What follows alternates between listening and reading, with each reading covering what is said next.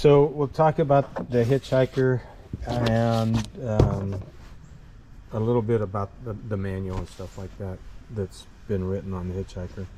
I do believe that the hitchhiker is a unique device in that it it functions so well and it adds a lot of versatility to our climbing systems without a lot of restrictions. When you look when you look over um, the manual, you won't see a lot of don't do this, don't do that. It it's hitch based, and so because it's hitch based, a lot of those warnings that you'll get with a full mechanical device just aren't there. I mean, it's just it doesn't exist. Not that there's not things to be concerned about when you're using a hitch based system, but they're not there. So. Um,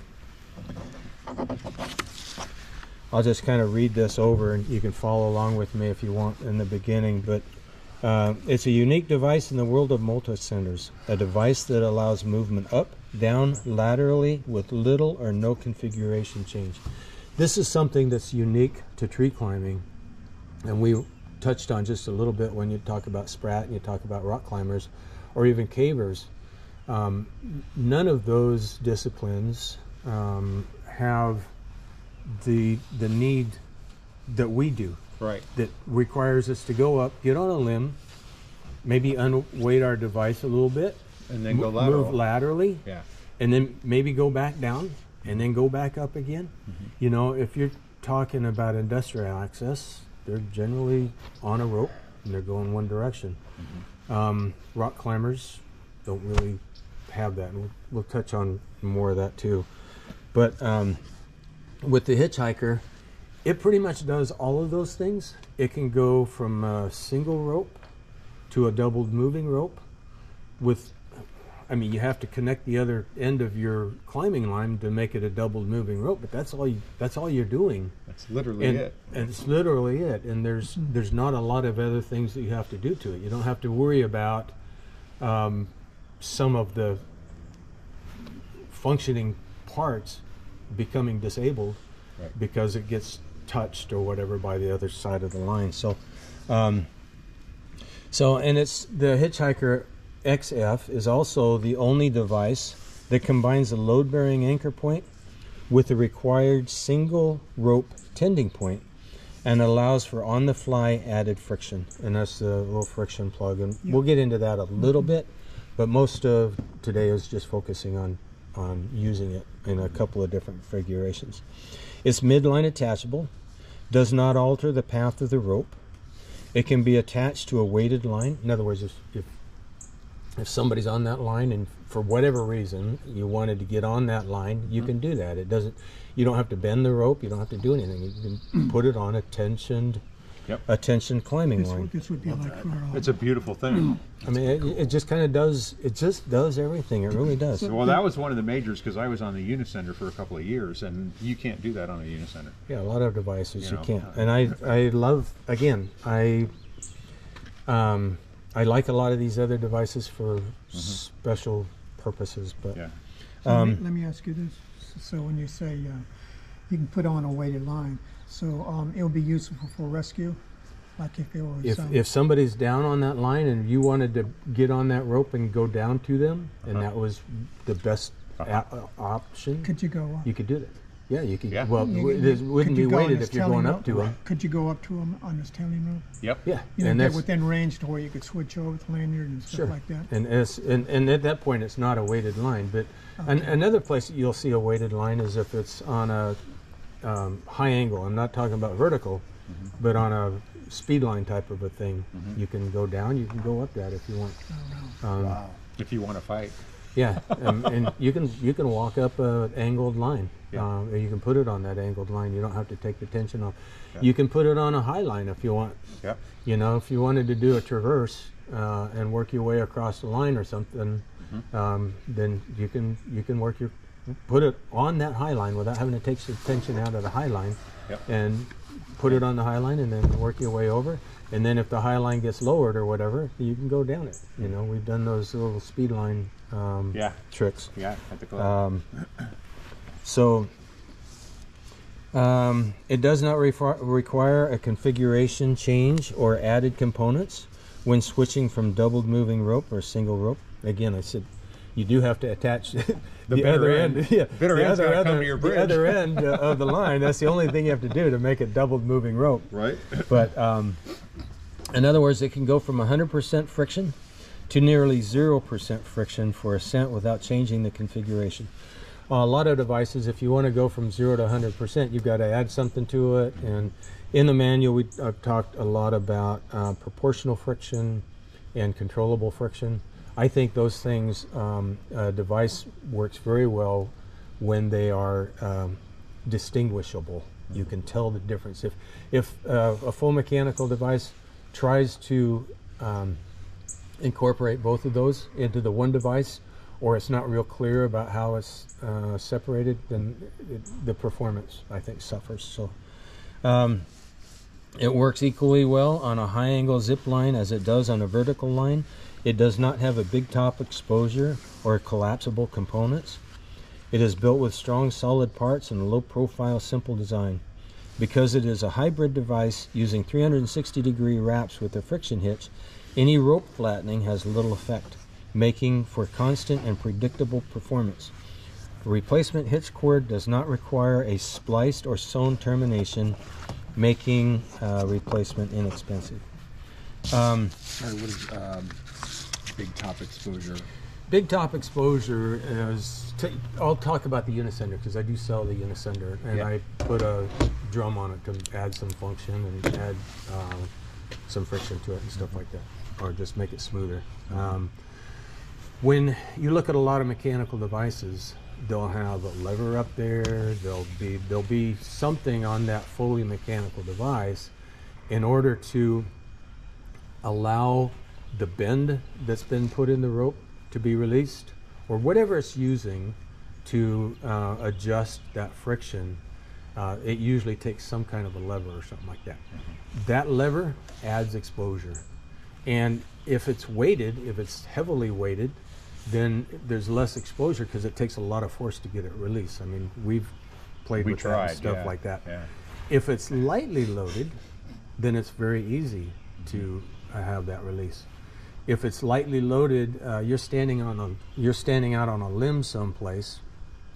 Your device is still. We'll talk about this too more. But if say you you still have some tautness, there's some tension in your rope, but not a lot because you're standing on a limb, right? Um, in, in those particular cases, that whatever lever or whatever mechanical device is used to release the friction, all of a sudden that gets really easy to release. Yep. And And it can slip on you. yeah, It and, will slip on you. and if you're standing on a limb and that mechanical device, and this could also apply to a hitch cord, but to what I'm saying is to a much less extent. Um, if you're standing and it's unweighted, and all of a sudden what you're standing on disappears, then if you have an article of clothing, your sleeve, the cuff of your glove, any of those things can snag on that high exposed area and release it. Mm-hmm. And that mechanical device doesn't know that you're not intending to do that. Right. It'll Yeah. it'll just okay, we want to go fast, you know, it's released and, Yep. and down you go until somebody realizes that they need to release that Yep. or they come to the end. With a damaged rope, because I've been there, Yeah, my lanyard, quite frankly, needs to be replaced at this point because it's you know it gets a little phrase in it, but it's the hitch that locks on it. Yeah, I would The say so. The hitchhiker passes it. Your your question is if you're if you're sliding down or if you're on a on a rope that has a defect, yeah, um, and that could actually be sap on the rope and stuff too. Sometimes Sure. you get sap, and, Yeah. and I've told people too. white pines. a lot of times if you get if you get sap from a white pine or um, a hemlock and stuff, they got a lot of sap in them and stuff like that too. The the best way I know is just to put that rope on the shelf for about three months and let that stuff just dry out. Oh, you know, we all have another rope, right? Yeah, yeah. And when you come back to it, it'll be all dried out and it'll just flake off and it's no big deal. Yeah. Um, but f- for that, normally what yeah. happens is it'll jam up on that, and Okay. the hitch The hitch jams. the hitch will Yep. jam up on it. No, the, the hitchhiker, the mechanical part takes a lot of that off of the hitch, Yeah. so it may not jam as much as some other devices would jam. but it's going to catch on it's going to catch on the defect.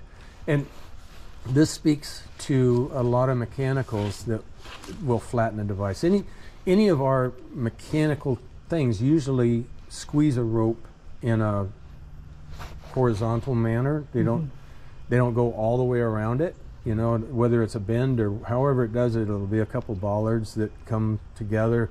And the hitchhiker uh, the slick pin those come together and the dog bone it comes together. Even though the channel on the hitchhiker is curved on one side there's a flat side to that. So if you're going up and down that same section of rope a lot of times they'll start to flatten. Some mechanical devices are just really scary when you hit that because what was holding a moment ago when it hits that flat spot Let go. your your rope is no longer a 11.7 millimeter rope. Mm-hmm. At that flat spot, it becomes 10, and all of a sudden your adjustments and everything are not set for that, and off you go. The advantage, again, this speaks to uh, a, a hitch-based system, is that your hitch is wrapping around that whole bunch of times in 360 degree Yeah. bends. And so, if you do get rope flattening, because I think that's unavoidable if you're going up and down the same spot, the impact from that is much less, minimal, because your hitch is circulating around that whole rope, and, Right. and so it's So I have a less effect. recent experience with this actually down in South Florida. My friend had me go up his mast down there because we had a, a pulley up there that needed to be repaired, Yeah. and he wasn't strong enough to winch me up his main halyard. Yeah. So I went up on my hitchhiker on my XF, and his old halyard was salted and somewhat uh, aged out, so the bluing on the rope was coming and all that Yeah. stuff. On the way down, the hitch locked repeatedly because of the, the salt and the bluing coming off of it on the hitch. Yeah. So I'm on my foot and knee ascender. I hook back in, stand up on it to release the hitch. Oh, sure. Uh, work and it then past the- to work it to free that up, and then it would go down three or four more feet and lock again, and build up, you know, and all, all the way down 65 foot every three or four feet. I'd have to stop, stand on it, free it up, and then, and quite frankly, that rope I probably shouldn't. I mean, it, it was strong. Obviously, it was still sounds strong, like it but was. all of that salt air down there and all of the age of the ro- a couple of years of life on that halyard running up and down and living out in the salt and never being protected from the sunlight and all that stuff Yeah. decayed it to the point where I literally had to scrub the hitchhiker and everything else to get all the bluing and everything else off of it from the rope. Yeah. So uh, you know, and if, if it was a full mechanical device, it'd probably be much more extreme than that when it comes to the impact. I'd have been locked. Yeah. so, and that's kind of like too um, a hitch. If you just, it'd be, it'd be great if you could just climb on a hitch without having to have something that provides the proportional friction. But you know, th- then they just don't work. I've, I've been to so many comps where you'll see somebody doing a aerial rescue, and you know they don't do it properly, and the hitch bears the entire load all of a sudden, and it's locked on, and the guys. I've seen people just pounding on that thing. They Yeah. can't get the release. They can't get the hitch to release. Yeah. Um, Yeah, if I hadn't had my knee and foot ascender with me to be able to, to get off of the hitch itself, I'd have been stuck right there. either I do it on a footlock or I'm something. done. but yeah, yeah, I'd have to go to foot Yeah. locking or some way to get myself off of it to release that hitch. So there's a there's a bunch of other stuff in the manual, and I think as we um, work with the with the hitchhiker, we'll probably cover some of those things. Um, so we'll kind of leave that where that is. Um, let me talk about. We'll we'll start going through the syllabus, the, and try to cover um, what we want to do, and eventually we'll get out in the sun where it's a little bit warmer than standing here in the shade too. Um, so I probably won't go over the warnings and the cautions, but as you're doing training and things, I mean that's always a that's always a big deal. Sure. But you won't see in if when you look through the hitchhiker manual, you won't see a lot of the typical warnings and cautions in there, um, other than the fact that in, it's a hitch. And if you were teaching somebody how to climb on a Blake's hitch, there'd be a lot of the same warnings, but you wouldn't have a warning about collapsing a mechanical part of the Blake's hitch. Right. It's just Yeah. you know, okay, this is how a hitch works, and make sure it's tied properly, and you know, you've tested it and all that kind of stuff. I have so, a question. yeah. Um, so let's say you're, you're climbing SRT, and this happened to you. Uh huh. Remember when the um, when the system failed and you came down and you're using friction, your bare hands to uh, provide friction? Right. So my question to you, and, and this is a question to um, all SRT devices, and they haven't even brought this up. Um, once you're up five feet, um, why wouldn't you want to tie a safety knot, a lock safety knot with a uh, uh, round nose carabiner sitting inside that safety knot when you're five feet off the ground, just as protection? Yeah, we've talked we've talked about that before, and and I'll just I mean, TJ can add to that, but the reason is um, if you were to take a free fall onto that knot that's just five feet off the ground, that's probably going to be pretty severe. Uh, may not be as severe as hitting the ground, but it's also, uh, again, we use uh, that rope to access the tree, and once we're up in the tree, we're moving all around, and so all of a sudden it's not that knot that you put Yeah. five feet above the ground. It's not at five feet on the ground anymore. It's 20 feet off the ground, and then when you try to pull your rope around to someplace, Then that it hangs. carabiner's going to get snagged on. Yeah. And then it's like, well, why don't? Because when you're teaching somebody initially on a Blake's hitch, and maybe they're young, maybe they're a new climber or whatever, as an instructor, you're always going to be holding the tail until you're confident that they know how to use that Blake's hitch, right? Mm-hmm. And you have control over them. If they, for whatever reason, they panicked or they pulled it and released the whole thing, you got a hold of the tail, they can't come down. Well, as soon as you start teaching somebody SRT, you can't have control over them anymore. Mm-hmm. So in that case, it's like, well, why not just put a safety knot every time they go up five feet? Mm-hmm. Put a little safety knot like you do once you've started to release them. I mean, that's kind of the natural flow I would take. Is I hold the tail. Once they're good with it, you teach them how to tie a little safety knot.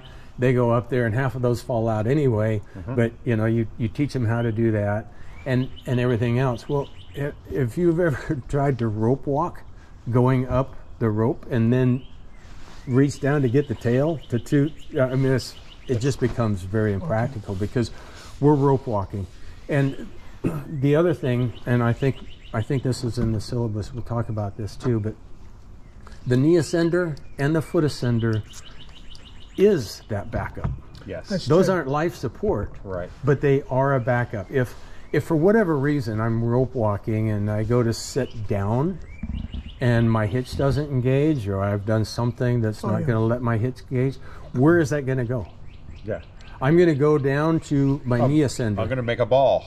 yeah, well, I'm you'll, gonna end up like this. you'll make a ball Yeah. if if if you only have if you're one footing it and i have a video of a guy one footing it Uh-huh. he's going up and um, his foot ascender comes off it was one of those that doesn't have a lock on it Mm-hmm. didn't have a cam and stuff so anyway he's one legging it up with a foot ascender and then he goes through some foliage and his foot ascender comes off and so he thinks I'm just going to lean back into my multi-sender. I won't say what, what it was, but he's going to lean back into his multi-sender and put his foot ascender back on, right? Uh-huh. He goes to lean back into his multi-sender. That's not engaged either because going through all It's that in the foliage, foliage. Ah, the oh, foliage So is the holding release that. is on. The spring, oh. the spring is disengaged because it's got. He slid down the rope, and you see him slam into a light post on the way down. I guess he didn't hurt himself, but he took one of those rope burning or glove burning slides Yeah. all the way to the ground. And luckily, he wasn't that high that Yeah. it turned into something really serious. Yeah.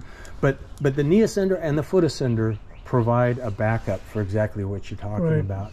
And with a knee ascender, won't allow you to go into the full pretzel.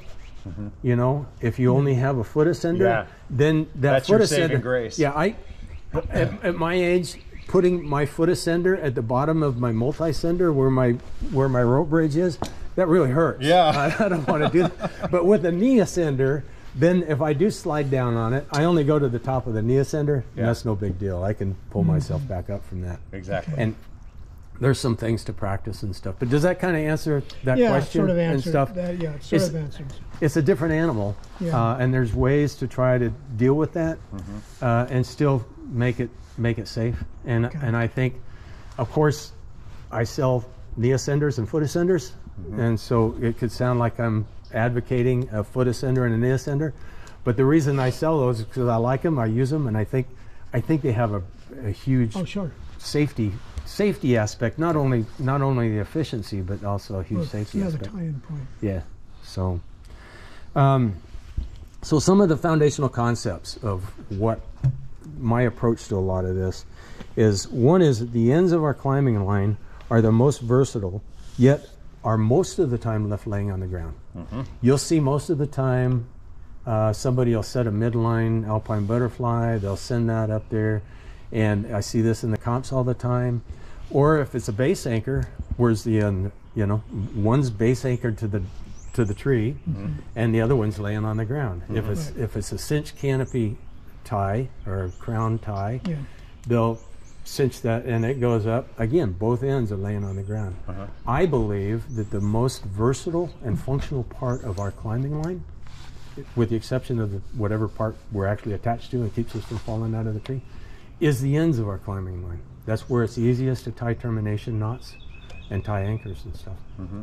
So everything i do is kind of designed around having access to the versatile part of a climbing line. I mean, to me, it's just it's it makes sense, um, and it's. I think a lot of that goes back to the time of a double moving rope. Although even with a double moving rope, you have one end in in your possession, right? Yes, exactly. But which gives you somehow, somehow in the switch to SRT, we've kind of forgotten that that part of the climbing line is really the most versatile. Um, I think that we've talked about this, but the hitchhiker, it's just it's really simple. You know, it's a hitch-based system. It doesn't have a lot of components that can fail. It's it's you know there's there's not high tolerance in uh, in the parts that have to match up. Um, the slick pin is has some tolerance to it that, that is met, uh, and we'll talk about that. But it takes like nine actions to get that slick pin to disconnect. Yeah. Um, there's just not a lot of things that can fail. So if you take a swing and bump it into sliding sideways or over a limb unintentionally and stuff like that, you're not going to bend the crap out of it. It's, it's not going to get hurt. Right. Um, so, um, tree climbing is a different discipline than rock climbing or industrial access. Uh, I mentioned this a little bit. Um, in in rock climbing, typically, and I'm not a rock climber, so somebody could criticize Me me, uh, on on my understanding of how it works. I mean, I've I've done the gym and I have done a couple little rock climbing stuff. So you're Um, on belay. First Yeah. Of all. Well, I'm on a I'm on a harness Yep. that's attached with a figure eight, right? Mhm. That they use a figure eight, Yep. um, and there's it's a set knot right there on on their on their harness. Yep. Then it goes up to wh- whatever anchors up there and stuff like that, and it comes back down, and the guy's on belay. Yep. The guy on belay, what does he have to do? Pay attention. He just has the belay. That's all. He he Yeah. he's paying attention. Exactly right. He's paying attention to that belay device. He's making sure that it's properly configured, mm-hmm. And that it also has some tension. Yep. That there's some tautness in that whole thing to keep it all configured. And a lot of people will say, "Well, that's that's to keep the shock load down," but a lot of the rock climbing are uh, ropes are intended to um, compensate and stretch and deal with the shock load. So they're still making sure that that's totally configured. It's not just for the shock load. It's to make sure that that belay device is properly configured and that it will engage properly when that guy comes off of the ledge. It's going to engage Right. and unexpectedly. You don't have time when he slips. You don't have time to go. Oh, I got to get this thing configured and put it in the right place. So uh, when when we're tree climbing, and I'll see this with guys with heavy experience with rock climbing, they'll move around that tree like they got somebody down there on belay. Oh, Yeah. Now you're talking. Now you're Wow. talking. There's there That's isn't exactly that right. guy on belay. That's right. And so they're they just and it's it's something for them to overcome. Mm-hmm. I have 40 years of flying airplanes in the first person view, right? Mm-hmm. When I started learning how to fly RC airplanes and that thing turned around and started coming towards me, that was, that was really hard to learn Wow. because everything's everything's backwards at that moment. And I think that it was harder for me to learn that than it would have been some for somebody that doesn't actually have real airplane experience. Because my mind is just like I'm- no, I'm- when I I'm first you know, person looking yeah, forward. first person. It's always that way. So I have to overcome that and then relearn something. Rock climbers have the same thing they have to learn that. And I've seen that in falls in competition, and I see people climb like that, and I see it more often in people that have rock climbing experience. They'll just start moving around the tree, and somebody will say, "Well, take the slack out of your rope." That's part of it, but that's not all of it. And- I think we'll talk about more of that in, in the syllabus and stuff like that. But keeping that configured, keeping some tautness is very hard to do when you're limb walking and when you're moving about the tree. And part of the advantage of the hitchhiker XF and the way that the anchor point is the same as the tending point and everything else is that it does tend to self configure and it has a lot less exposure on the hitch. So you still have to pay attention to keeping things configured, but it's much less than you might have to pay attention with um, a mechanical device. Goes it goes even with the connection, and I'll talk about this more too. Even with the connection of the carabiner, um, carabiners are great, the auto lock and all that kind of stuff. We'll talk more about that. Um, but again, you have to pay attention to those things. Otherwise, they get sideways, they get misconfigured, they get side loaded. And as we know, a carabiner, it doesn't work very well if it gets side loaded. It doesn't have the strength. Plus, Right. the gate is very vulnerable to that kind of stuff. So, so tree climbing is very different. And the SPRAT guys, SPRAT is mostly hanging on the rope. Sure, they use a twin system, but they'll use um, rated anchors and everything else, and their whole system is rated. And we go up a tree that has no rating to it at all, Right. and we get up, and first thing we do is we stand on a limb and get the weight off of our harness, and we stand and walk around and we do stuff. SPRAT guys, they're not they're usually hanging for again i'm not an industrial access guy i don't spend time doing that but most of those guys are always hanging from a rope. And Yeah. every time you see any of that they're hanging from a rope. They're just hanging from a rope. So it's easy for them to keep everything tensioned. And for that secondary they'll use an ASAP with a shock loading attachment to it. And that thing's designed to just go up and down the rope and then engage when it needs to. So um, again, that's that's hanging from a rope, and they have a device that's specially designed so that if something over here fails, it engages and it doesn't. You know, you try to climb around a tree, and I've seen guys try to try to um, incorporate that, and it usually doesn't go real well. So that's kind of why the SPRAT and the tree climbing, uh, or the uh, rock climbing, is a little bit different. And I think it does best when people can leave that stuff at the door when you go to learn how. Mean? Um, I don't know. We'd have to Google it. I forgot. It's All right, I'll look at it. it's uh, That's, that's industrial. Yeah. That's Yeah, it's industrial access. Okay, got it. and, Industrial access, okay, um, that's yeah. Okay. SPRAT and Well, Yeah. that's- There's the, the international. yeah. I, you have to. IRATA is the Industrial Rope Access Trade Association. SPRAT is the Society of Professional Rope Access. Yeah, Society of Professional Rope Access, and then there's a T on there. I guess technique or training or something. Tech technicians. Technicians, okay. Perfect. Now we know. Isn't Google great? Technology. Yeah, Um, climbing systems to match the environment. Again, we're climbing in a tree, and so the HitchHikerXF, I think, is really designed to match how we're going to work in a tree. Um, and we'll see that as we get involved with it. Um, I mentioned this before, but trees lack a rated anchor point and are not injured, engineered for our use. In fact, the trees are reciprocal of what we need. The tree has most of the strength at the base Uh-huh. to hold itself up, right? What do we do? We put our ropes as high as we freaking can up in that tree where it's the weakest, Uh-huh. and we put all of our weight on there. We just we do it all completely backwards of how the tree is designed, and so I think if you if you go into tree climbing with that understanding and, and engineer around that, um, that kind of helps. That goes to how I'll initially set a rope. I'll try to set close to the stem and not as high as I used to, you know. And in competitions, you'll see guys, they'll set it really high. Yeah. Um, at some point, I'm going to talk about this too. But in competition, it's a different environment. You've got a rope tech up there. You've got people that have set that course, and you've got people that are telling the competitor. And I've always kind of argued about against this, but they'll tell the competitor, "No, you can't put your rope there. You can't put your rope there. You can base anchor here, but you can only canopy anchor over there." They've been up in that tree. They've Yeah, they been- inspected it. They've inspected it. They've played in it and everything else, and now Probably they're protest. yeah, so a guy will throw it really high and it's a great anchor and everything, but it's because they all know it. Right. Now you walk away from that competition and you think, oh yeah, I set it really high. That's what I did. I get the best pendulum swings and I can work the tree and everything.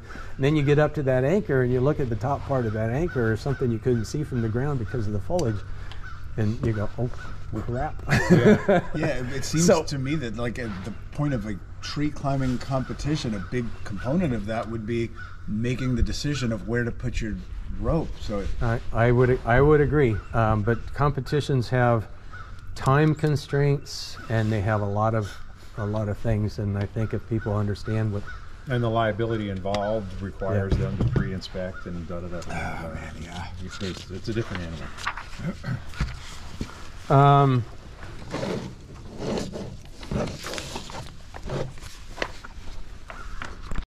so the hitchhiker is a, a simple device. It doesn't have it doesn't have a lot of linkages um, that can uh, get broken.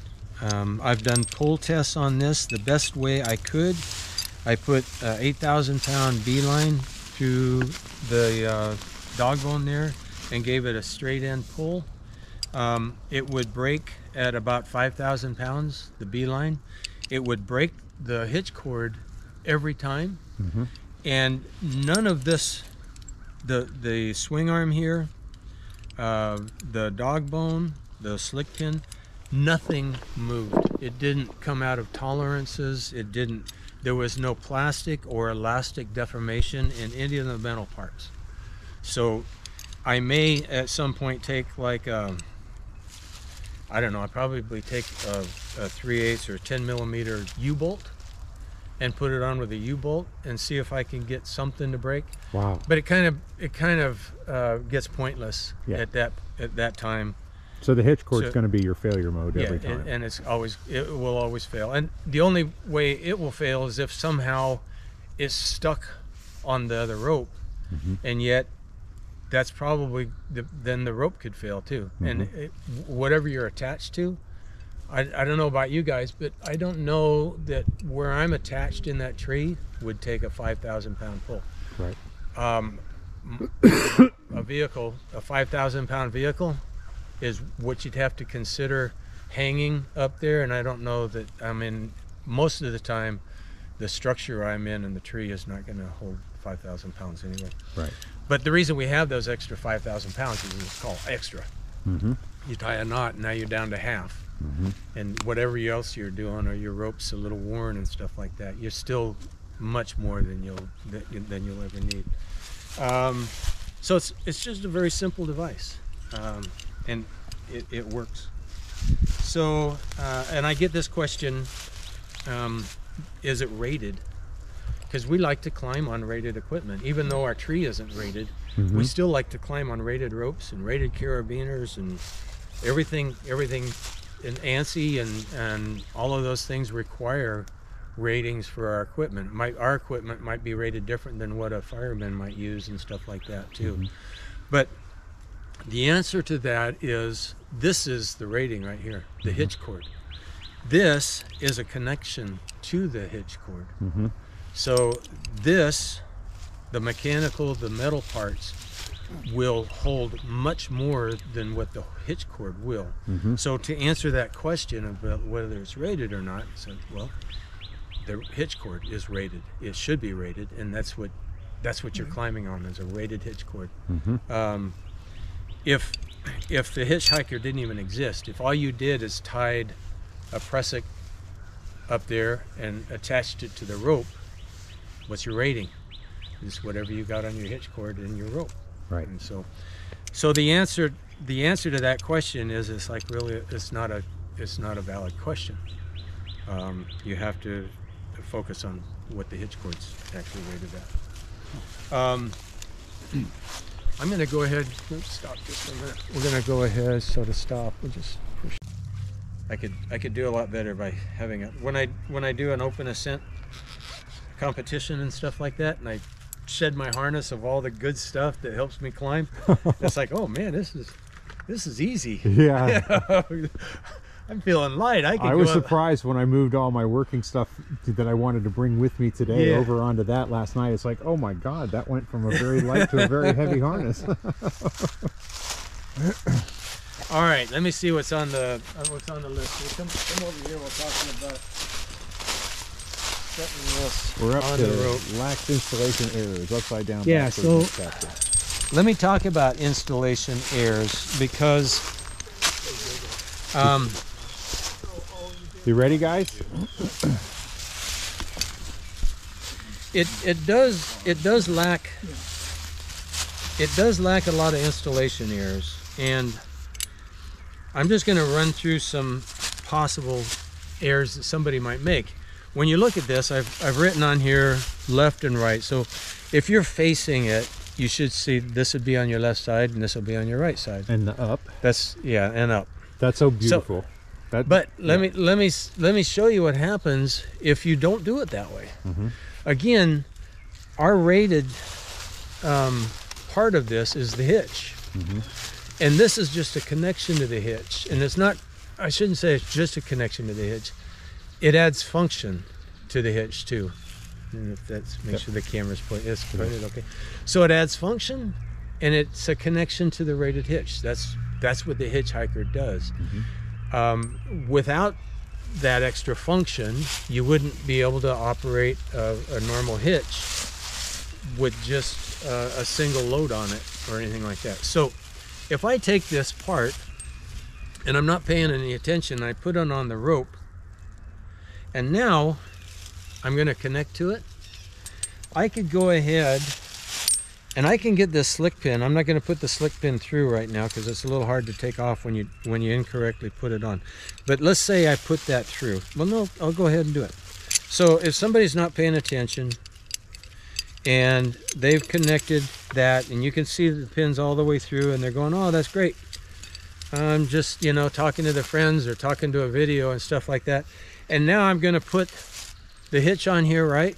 Yeah. I put it on upside down. What happens? It won't go. It won't go. It won't fit. I go, oh, crap. We call that sailor proof. Yeah, sailor proof. So, yep, me proof. Yep. So now, and the reason I didn't want to do that is it's really hard to get this pin out um, because that slot is so big. It doesn't collapse it. Yes, uh, there's a whole procedure for making the slick pin collapse, and it works really well unless you've put it on wrong. All right, so there, that's come off. So that doesn't allow, that doesn't allow that air. Um, let's say, let's say I put it this way, and I go ahead and I put the pin through where it's supposed to be and everything. And then I can go ahead and I, I'd, I'd really be, you know, if you're new at this, you're no, not sure how to do it, you'd do all that and it would function just fine. Well, it wouldn't function just fine. It would function, but when you start to go and tend it, it's like It doesn't work right. it doesn't tend very well yes. it's not going to work as well but again the connection for your life support is all there it doesn't it doesn't matter Right. so um, and I, when I said doesn't matter, it matters because you've lost some of the function. You've lost some of the capability of the device. So you So- always want to be able to read it when you're assembling it. Yep. Have have those things facing you. But if it's not, you'll probably you'll probably realize that you've done something um, that wasn't wasn't right. So if you put it on upside down, or if you put it on left or right, um, you know you would soon you would soon find your error, and none of those errors are going to be um, Detrimental. detrimental or life life threatening errors.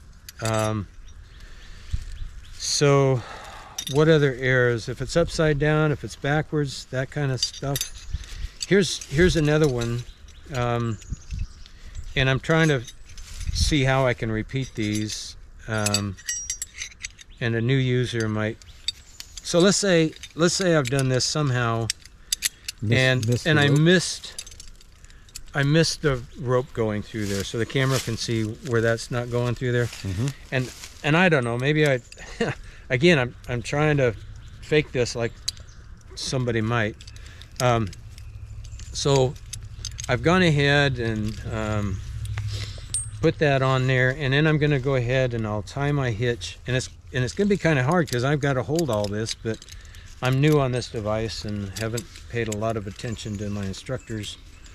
And so I go ahead and do everything and uh, I'm going, okay, sometimes I do five. Right now I've got one, two, three, four, five wraps. And that seems to work pretty well for me. My rope's broken in.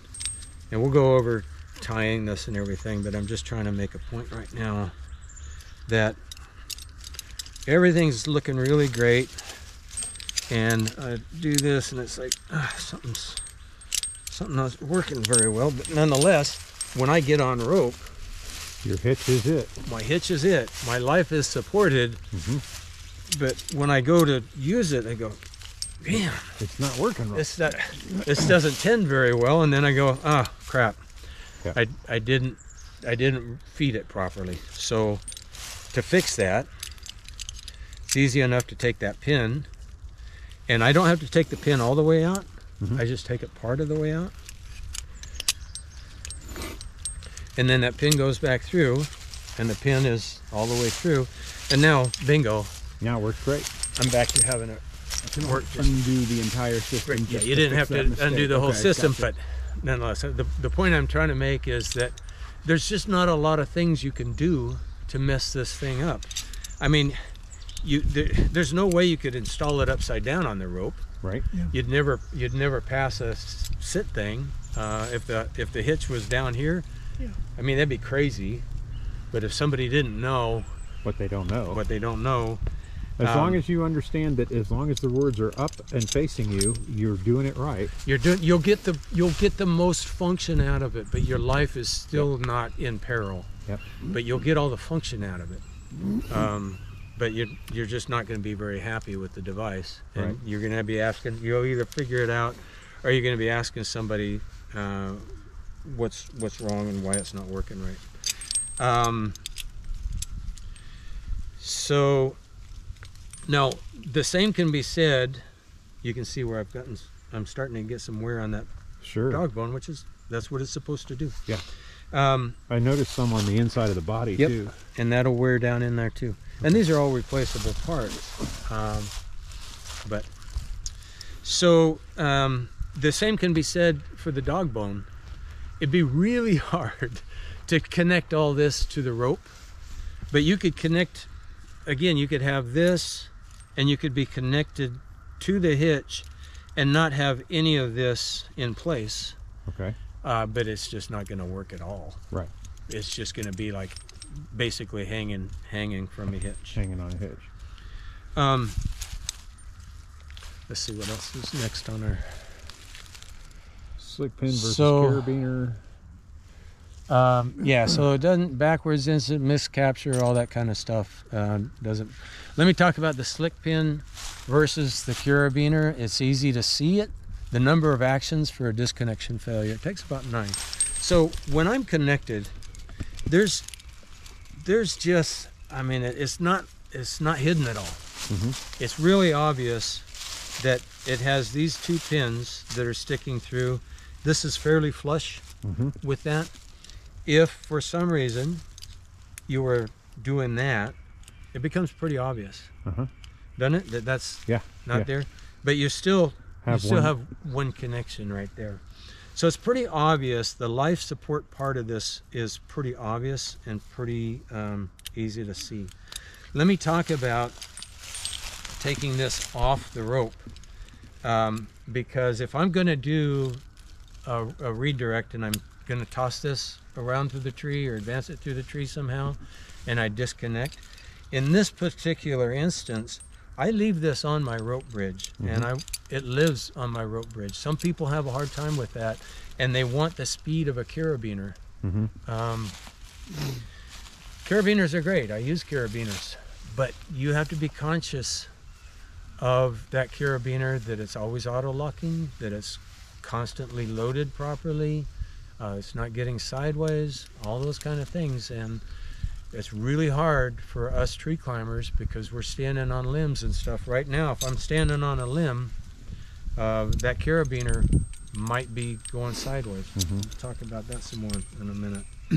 um, but right now, so this car this slick pin is the the part that connects the hitchhiker body to the rope. In order to disconnect this, in order for me to have a life-threatening failure, um, I have to do about nine actions for this to send me to the ground. So somehow, um, if I was in the tree, somehow all this would have to happen by accident. So I have to push, that's once, Mhm. and then I have to push that, right? So there's two actions right there. Mhm. And now you can see that the slick pin's starting to come out. Mhm. All right. And I don't have to, but I'm going to rotate that a little easier for my finger. And I'm not counting that as an action. Here's another one. I push the plunger in. All right. So that plunger has to physically get pushed in. Mhm. And then I have to push it again. So that's four actions that I've done to this point. Now, I'm still life support. It'd be a scary life support. I wouldn't want to see that if I was up in the tree. No. But I'm still life support connected, right? Mm-hmm. So, in order to get this to come loose, I've got to give that a pull. So that's five, Five. actions, right? So that's five actions. And if you look closely, you'll see now that pin is down inside the slot, the plunger on the slick pin. Mhm. I have to take that plunger because it, it's not going to come anymore, right? It's stuck Right. that that plunger is again locked on the casing of the hitchhiker. So I have to. What are we? We're at five actions so far, right? Yeah. So now I have to turn again, and when I turn this, that action will compress the plunger. I don't know if you could see that, but the plunger got compressed. Yeah. All right, so that's, That's six, actions, and now it's still life support, mm -hmm. but I have to pull it, right? Yep. and the rope can come out. Yep. But it's still a life life support connection, right? Are you counting the pull or the twist as two separate actions, or is the yeah, there was a pull pull and a twist, So so- now we're at seven actions. Seven Okay. actions, right? But I'm still connected. Right? Incredibly. Yeah. it's it's not a again. It, it'd be scary as shit connection. If I was in the tree hanging on this, That's right. I'd be looking for something else to hold on to. Right. But I'm into seven actions now before I'm starting to fall to the ground, right? Right. So now again, in order to get this one to release, I've got to turn it again. All right. But it's still getting a really scary life support connection, but that's eight, Yep. right? And now, in order to get it to completely release, I got to pull it again. That's nine actions. Yeah. Wow. Carabiners, again, I climb with a carabiner, Yep. but um, they take a lot less actions. And sometimes, if you haven't monitored your carabiner, Mhm. they can be where they're not auto uh, all the time. In fact, my last competition, I had one of my carabiners that wasn't working properly, and I had to oil it and get it to pass a gear inspection. And I have seen so many times at gear inspections where carabiners not Yeah. automatically closing. Yep. Yeah. What are your thoughts on screw links? Not again those those are for rock climbing guys and rock climbers are hap- more than welcome to use them that's what they use but again That's a screw link with the guy on the belay. He's not bumping into stuff. He's not dragging that across the limb. He's not laying on it in the tree. Mm-hmm. And so when that gets screwed down, chances are it's probably going to stay screwed down. If we use one of those and you go up in the tree, next thing you know, I'm dragging my ass across the limbs and everything, and sometimes that carabiner can be whatever, Yep. and it might unscrew itself.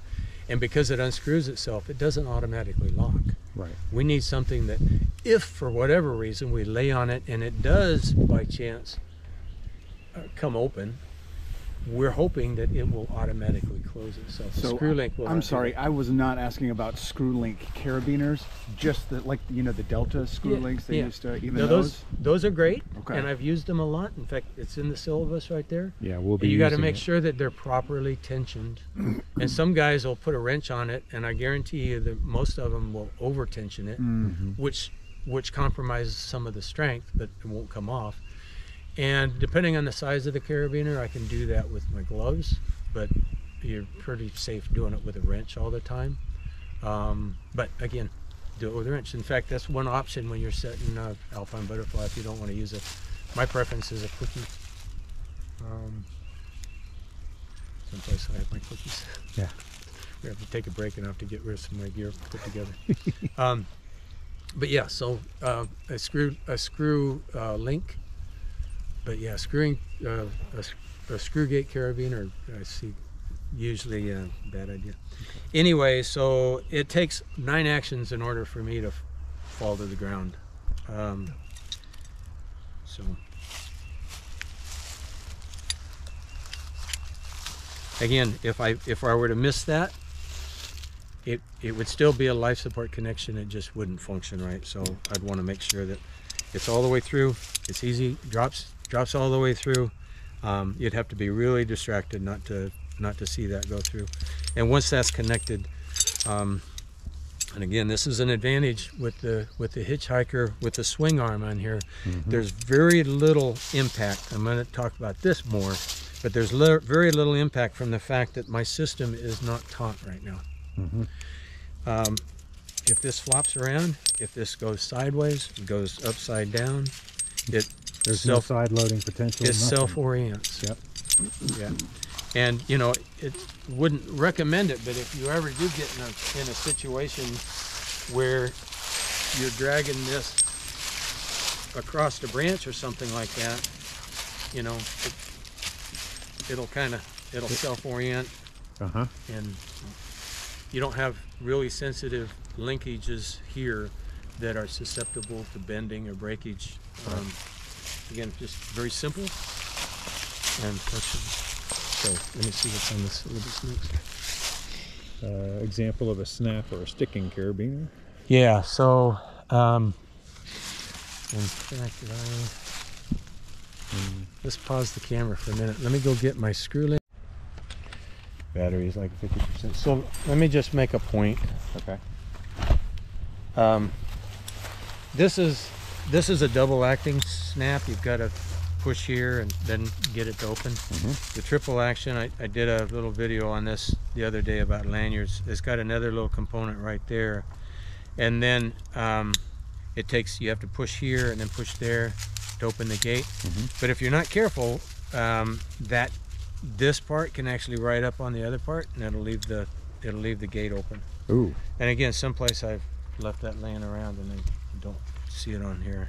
Um, but anyway, so so that's to be said about the snaps. And then again with a with a carabiner, this is not a captive eye, but if I if I connect to my climbing device and this thing is allowed just to move around, as soon as I stand on a limb, you know, you're not quite sure how that's going to go and they are auto locking but if if they're not maintained or if they're not monitored they can get where they don't automatically lock and you'll see videos of guys oftentimes uh, demonstrating where they're bumped up the tree just right and the tree will kind of push and open that up Wow. so i'm not saying that that's not safe i'm just saying that with this i don't have any of those concerns yeah. um, and even if you take a captive eye carabiner, um, and put that. I've seen the captive eye. This will jump out and then get down. It'll bend that little thing, and messes it all up and stuff, and you're kind of screwed. But but even with that, um, it's just I hate flop. I do not like things flopping around that can affect my life support. This can flop around like we demonstrated over this. This can flop around and it'll self-orient and I, I really think for that reason it's got a lot going for it. For a secondary system, um, and we'll, we'll demonstrate that, but for a secondary system, this works out really well because I can take this and I can put it on my bridge Uh-huh. or I can take it and I can put it on the, you know, the climbing line there and there, make a, Yep. a, a separate suspension, doubled suspension. I can take it and I can put it on my D's, all those kind of things. It's just that now this has that that can open mm-hmm. without me knowing about it. In fact, right now, look at that. I've got this to stay open. And it didn't lock all the way. It didn't lock all the way. Interesting. And so, I mean, they have to be watched. And so I should get this Clean. um, cleaned out. And sometimes it's just, you know, there it goes. Yep. Um, it's a fail. so, you know, it's just, and this is what I've been using for a secondary system. So inspecting it now, I go, oh, we got to go blow this out before I, before I uh, do that. So, um, all right, let me look at what's next on our syllabus. So that's about the captive eye. Um, and it's a hitch-based system. I think we've talked about that. Um, We all like hitch. and yeah, it, it's uh, that's the life support. I'm gonna take this this ring off. Before I do, this is this is another option. If um, there's all kinds of options, and in the manual you'll see some other options that people can employ um, if they um, if they don't want to use that captive eye. There's other types of pulleys and or uh, swivels and everything else. But if somebody didn't want to have this extra part on their bridge, they can go ahead and put that on their bridge. If if you're okay with just having a ring, and I don't know why anybody would have a a problem with some things hanging on their bridge, but um, that offers similar performance Yep. you know, and without having to have the swing arm that's living on your bridge. And we'll talk about the anchor point and stuff like that. But again, you can you can anchor right off right off the ring, and have uh, similar functionality. Um, but I prefer myself to have uh, that non-captive eye, the non uh, uh, the captive eye uh, for that right there. So I'm gonna take that off for a minute. We have choices. Yeah, and because this is uh, my secondary, I'm okay. I'm okay with that um, being easy on and off, Right. on and off my uh, on my bridge. But let me take. I'm gonna take that ring off because I'm not gonna use it that way. But I just wanted to demonstrate what that would look like doing it that way. Again, my, my favorite thing is a rope bridge. I mean, there's a lot of different ways to uh, make those connections, but the rope bridge sure works well.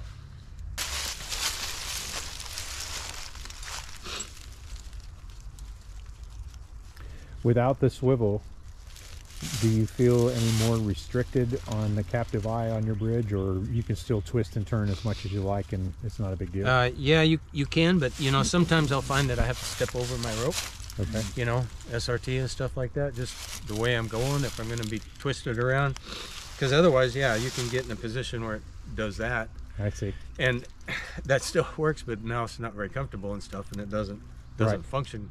So when you to avoid that, when you do some kind of a redirect or something like that, you might find that you just have to step around your rope, Gotcha. you know, Yeah. or have a swivel. Right. Okay. um, and you know in that case but um, in fact you could do if somebody wanted to they could do that other configuration mm-hmm. with that DMM swivel Mm-hmm. that allows for all of that Mm-hmm. um, and you know people would be okay with having that swivel live on their bridge and then use that different that's why there's two different swing arms Right. so you can choose the Which captive which eye play you want to go? or the non-captive eye Right. but I just really advocate that people don't bypass those options by adding a carabiner to this Yes. and just kind of um, circumventing the whole the whole point. Right. So, um, all right. So what was I forgot? Did you notice that, Peter? I forgot what I was talking about. That's quite okay. It's a hitch You're case my- you're system my as boss. trustworthy as the oh, there's so there's no eye. there's no eye on this. Um, and once in a while, I'll get somebody. They'll say, "Well, can we can we design this dog bone so that you it takes the traditional eye, right? If you're if you're using a hitch climber pulley or whatever, you have you have eyes on that hitch cord, Mhm. and so that they're like, well, let's design a dog bone that has that so I can use those eyes. And I go again, you're taking the beauty of the thing and throwing it all away because because I'm not subject to using the end right there Yeah. I can make an infinite or almost infinite number of adjustments to the length of this Right. and if for example the hitch I'm using it starts to put maybe a little bit of concentrated wear on one little part part of this hitch Uh huh. now I can take, and I can take my double overhand knot on this side, Uh-huh. and I can retie it, and just move it a half an inch. Right. And moving it that half an inch, I've taken that wear spot, and I've put it to a no wear spot, Mm-hmm. and I can increase the life of my hitch tremendously just by those that by that small adjustment. Mm-hmm. And um, Whereas your eye to eye cord, once it's worn on that spot, you're done. Yeah, right. You're done with it, and Right. not only that, you can't adjust the length. To put to put an eye on there just defeat the whole to, to defeat the whole point. Um, yeah, so uh, you know, and the stopper knots are easy easy to see. They're right in front of your face all the time. Mhm. Um, there's you know you want to have uh, about a five diameter length on the tail Mhm. and when we build these we put a little bit of um, super glue on the very end and it also provides an opportunity I can sharpen this just like a pencil Oh yeah. and it makes it a little easier going through the through the dog bone uh, but it also if for some reason it was getting pulled into the into the knot it just provides a spot that doesn't want to go get pulled through Right. Okay. so it keeps it and those those things really only apply when the knot is not under tension Mhm. because if it's under tension it's not going to get pulled. Right. i mean at failure point it would but um, so there's just a whole bunch of advantages to not having an eye on your friction cord and not only that the expense when I, when you go to buy a eye to eye it's going to cost a lot this is four and a half feet i use four and a half feet um, four and a half feet of hitch cord that's all it is for a, a dollar a foot or whatever Right. you know, uh, buck fifty a foot, depending on what you're what you're getting and stuff like that. Um, but yeah, so it just you know, there's no eye. Another great advantage Yeah. to the hitchhiker. Um, yeah, so adjustments to the wear. Uh, the low exposure. We talked about this. Um, let me let me grab. Well, no, I won't. But um, so a lot of the fully mechanical devices usually have what I call as a big top. I mean, they, they just have to have a big top. There's there's either a lever action up there, there's something up there that increases that exposure. Yeah. Um, with a hitch cord, And if something hits that, you're going for a ride. yeah, you could depend, especially if it's not weighted. Right now, it's not weighted very much. Mm-hmm. So if something was to come and slide down the top, if I had my Unicender on here, Mm-hmm. and I'll talk about the Unicender because I love it and I sell it. Mm-hmm. Um, but if I'm standing here and it's unweighted and something comes down, or even my chest ascender or the sleeve of my jacket or anything snags on the top of that thing, which is easy to do when it's not under tension. Yeah. and what I'm standing on disappears, then it and I are going to go for a ride. And I hate it when you see somebody laying on the ground next to their multicender, looking up in the tree, wondering why they just fell out of the tree, and their device is still connected to the rope. Yeah. It's like, well, you didn't use it right. I mean, that can happen. Mm-hmm. It's not just because it's connected to the rope doesn't mean it's not going to slide down the rope with you. I can force this thing to slide. I mean, that's how it works. Yeah. Is I push down on the top and I and I am able to go down the rope. It's just because that has such uh, a smaller footprint and it's you know much more difficult for anything to get caught on there than it is on a lever and stuff like that. So the exposure that comes from that is just is much Is reduced. much reduced. Yes, thank you for helping me talk. um, so, what what I want to talk about right now? Let me get this on the camera. Right here, I want to talk about slack versus a taut climbing line for SRT versus doubled moving rope. Um, there's some there's some ANSI requirements that we don't allow um, slack to get into our system. This is Z133 for working arborists that choose to comply with the regulations. They talk about not having slack, and most people, if you ask why that is, they will tell you that they don't want to subject your device to a shock load. Right. It goes beyond that because it's that lack of slack that keeps your device properly configured as well. Tension. And in the in the uh, TCI climbing competition rule book, there's uh, a discretionary uh, point. There's discretionary points that can turn into disqualification for not maintaining a taunt climbing system. It says failure to maintain a taut climbing system or climbing above the tie-in point. And again, when they say climbing above the tie-in point, most people would go, "Yeah, that's because we want to avoid the shock load." Again, it's not just avoiding the shock load; it's keeping your device properly configured. With the HitchHikerXF with the swing arm, if there is not tautness in my climbing system, it will self-orient.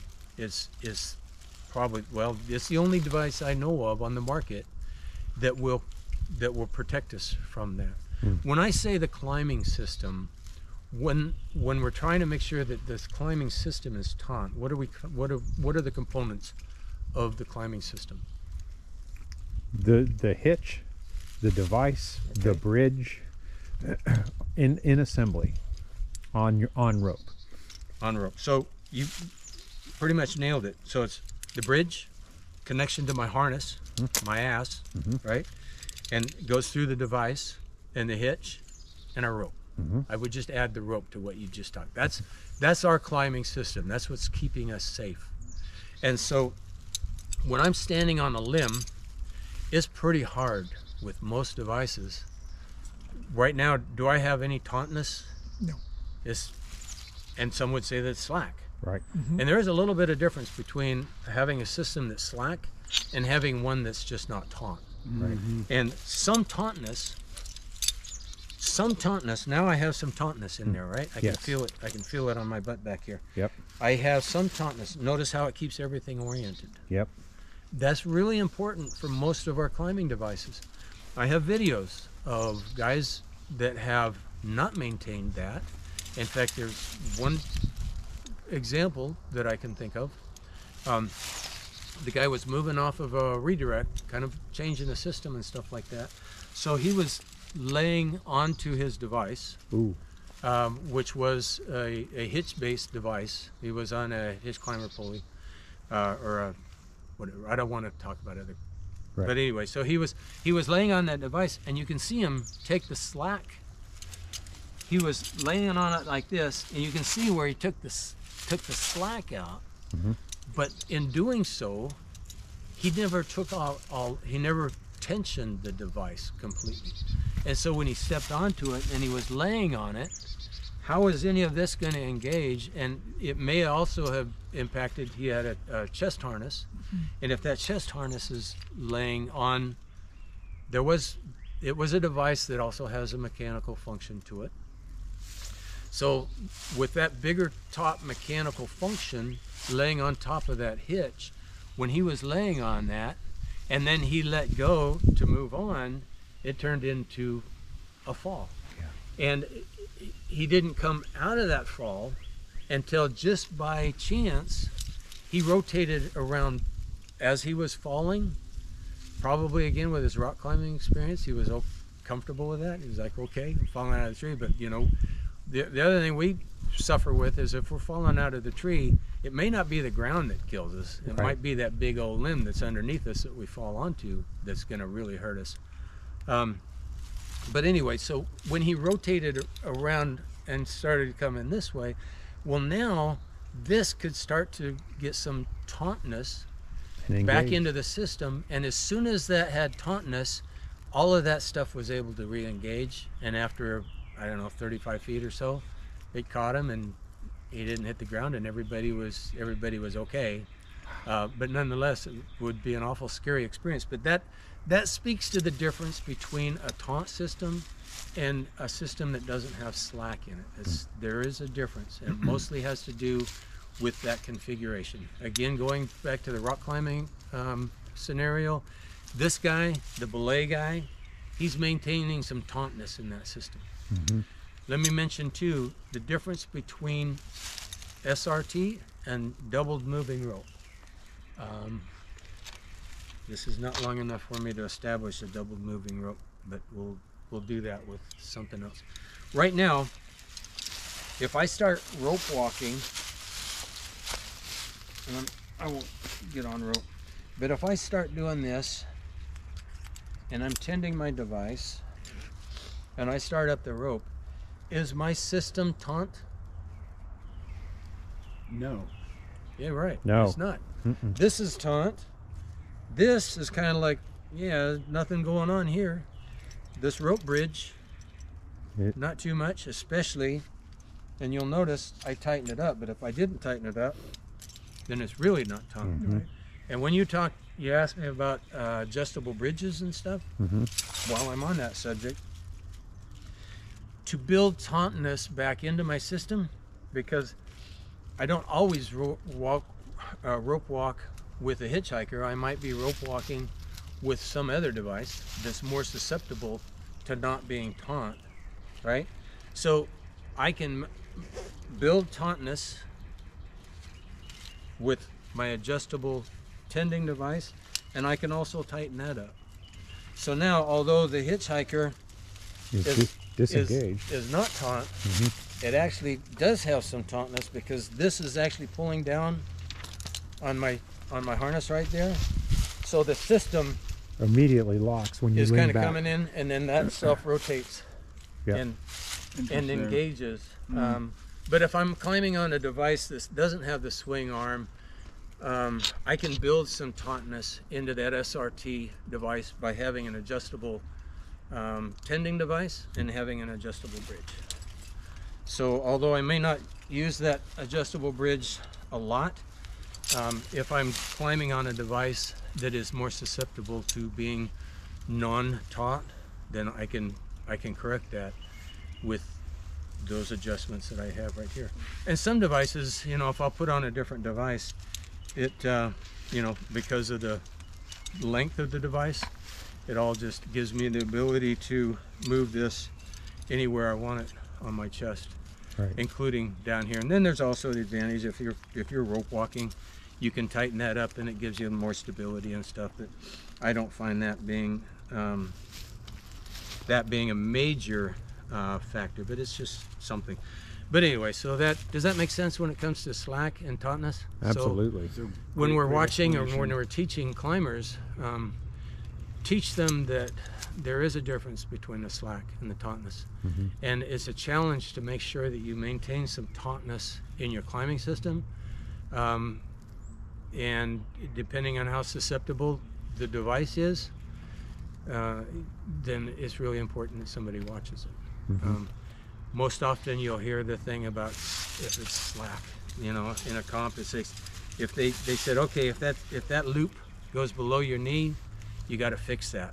Okay. But look at that. I mean, that's still everything's everything's not taut. No. Sure. It, it, that slack may not technically go below my knee, But but but you're still going to go for a, Yeah, a there's hard still no stop tautness. pretty quickly. yeah. Um, That, that's going to be a jolt. It's not an option. let me um, and how can I demonstrate this best? There is a difference. We can maybe we'll just talk about it. There's a difference when you're doubled moving rope. Um, that rope goes up and comes back and connects. And my hitchhiker will be a bad example for that because it takes care of that tautness. It takes care of that slack on its own. But on other devices, say the hitch climber pulley and uh, a friction hitch, right? Um, you have both ends that come and connect to your rope bridge or your anchor point on your harness. As soon as you have two parts of that, then there's going to be some tautness in your system. Mhm. Uh, it, it just it's a little bit different with doubled moving rope than it is with SRT. SRT is much more susceptible to having slack and even to a greater extent having that non-tautness in your in your system. Yeah. Does that make sense? It makes perfect So, sense. I mean that's really important, and I've seen I've seen falls for that, and you you can't rope walk and have tautness in your system. I mean, you just it's And not hard, have tautness in your system. huh? And not have Not have- tautness. And not have, Right, yeah, right. it's just part of, and you can you can mitigate a lot of it by having an adjustable bridge and adjustable here, but on most devices, somewhere in there, because you're having to lift this up with your harness, Mm-hmm. it's going to have some non-tautness. Mhm. And our backup for that is what? Our knee ascender and our Exactly. foot ascender. Mhm. So if if for some reason my foot ascender comes off, then I'll have my knee ascender. Right. If whatever if if for whatever reason you have those two things, that knee ascender will come up and lock up underneath my multicender and keep me from turning into a pretzel. Right. So, um, let me just mention. We kind of mentioned this before, but on most most devices, it's really important. Uh, mechanical devices will have a spring located someplace in that device uh, that provides the bias for engagement. Um, that's a vertical spring. Mhm. I can't think of any mechanical device that doesn't somehow somehow have a spring that pushes vertically to make things engage, right? Mhm. So, again, this uh, speaks to the vulnerability of a fully mechanical device because those springs are not meant to be very strong. They're just meant to provide some bias so that there'll be an engagement on that portion of the device that's supposed to add friction. Um, anything vertically can disengage those quite well or quite easily. The friction hitch, on the other hand, its tension, it does have a spring. It's just not a mechanical spring, but it's the spring in the way that we've tied our hitch. Yeah. And you know how tight you tie your hitch um, can can have a bearing on that. But it's it's a spring tension that wraps 360 degrees around the rope. Much less much less vulnerable than um, a mechanical device when it comes to the direction of that bias spring. Mm-hmm. And again, this has a spring. There's spring action inside that hitch. And I, again, I, I can control that. Right now, this, this works really well. But if I got up there, I would lanyard in and watch how easy it is for me to adjust that spring tension. You can't adjust the spring tension on a mechanical device. I just tighten that up a little bit mm-hmm. and then I'll retie this. This is a stevedore knot. This is like taking the mechanical spring out of your mechanical device and getting yourself a stronger one. Mhm. I've just, you know, Yep. bingo. And I've put a new, better spring in there, right?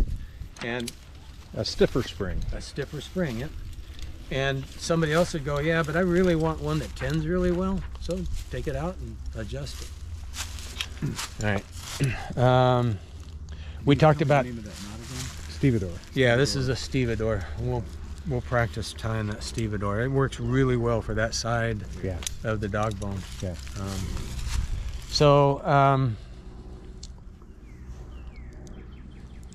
we talked about how if the rope flattens, then it has minimal effect because your controllable friction is wrapped all the way around. So if there is some flattening on this rope, because the rope's coming all the way around it, It's Numerous times. It's going to adhere. much much lower uh, effect. Um, so, let me talk about the um, multiple configurations. All right, so I'm going to set this uh, up, and this is going to be one of our scenarios, and I'll just cover it right now. So this is this is a scenario where I have just enough climbing line that it comes up and then comes back down, right? Um, if I wanted, I could set this up as a doubled moving rope Mm-hmm. because I, I got both ends. Mhm. Um, I have a lot of options, and I'll cover some more of the options with the retrieval. If I was doing a aerial rescue and it was really important that I get on rope as quickly as I could, I probably wouldn't bother with the retrieval function. But um, right now, I'm just going to send this up. It's non-retrievable, Uh oh. right? Okay. So we'll send that up. So somebody's got to go get it later. Yep. We're gonna we're gonna climb up and get it, and I'm gonna put this on, um, and I'll cover this. This is a procedure that I follow, and you should probably teach it um, for getting on rope, Mhm. um, and it covers some. It keeps people from making some major errors, but this is hanging on my harness. I wouldn't walk around like, like this a lot with it, but nonetheless, it's it's there and it's it's not gonna it's not gonna fall off. So I do a I do a little safety knot. I just tie a Mhm. that gives that gives something for my hitchhiker to sit on. And then I walk up and I put that on, and at this point, I'll make sure that my pin is all the way in. Mhm. And again, it's really easy to feel it, see it. Uh, there's there's just no doubt about that that's fully engaged, right? And then then I'll take my hitch cord and you put that through. We talked about it's difficult to make an ear. And this is tying the Catalan, modified Catalan. We'll talk about that. Notice that it's sitting down. If you want to come in a little closer to the hitch, you'll notice that when I pull down on this, it's all kind of sitting down on the top of that hitchhiker. Yep. And it's all being held up by this little safety knot. Just makes it easier to tie. Hmm. And then I start doing my wraps. And again, my thumb is right here, so I can I can hold that tautness in the wraps. And I we talked about five or six wraps or whatever your weight is, you know, sort it out. So there's one, two, three, four, five. I'll go with five wraps, and because I'm going to check it and make sure that it's good. And now it's just easy to put that through there. And with the stevedore, again, I'm tying up into the hitch so I'm not losing anything in my tension. And after you've done it a few times, you'll kind of get aware, um, and I'm sure you guys are already aware of about what kind of tension you like to climb with. Mhm. Um, Now, one thing I made a mistake on early in my journey was I counted that bottom under wrap as Mhm. one of my wraps, and I really only had five. and that could that could be, but that that could be why you know you ended up a little short and you got that creep Yep, exactly. that creeped you to the ground and creeped you out and stuff like that. So whatever whatever works for a climber, at, at my weight, 200 pounds, this works for me. Mhm. It would probably be too much for some of you guys, uh, lighter lighter climbers, Sorry, I'm uh, with you. I'm about the he- same heavier climbers. it just it just works, but it's so easy to make that adjustment and makes this tend really well. While I'm thinking about it, let me just show you something. New climbers may be a little apprehensive about a hitch engaging and stuff because we want we want our hitch to engage, Mhm. right? If if you're to that point, this is this is what I call a distal tuck Okay. when we talk about, I don't know if we want to demonstrate tying a Distel hitch, but a Distel has where you go underneath it like that. And that's, you were looking at that other one going, this doesn't look the same. Uh-huh. The, the innovation hitch has basically just a whole bunch of wraps and then it goes through twice like that. It tends to engage more, I hate to say reliably because I found the Catalan to be very reliable. Yes. But if somebody's a little apprehensive, they're kind of new, maybe they have some other things going on, they just want to make sure that's that'll help the engagement. Okay. It also will start to lock up a little bit and get to be too tight for somebody that's doing a lot of limb walking. Okay. So there'll be some point where they go, hey, this is starting to, uh, you know, it's not tending as well as I would like. Mhm. You've gotten some more experience. Ditch.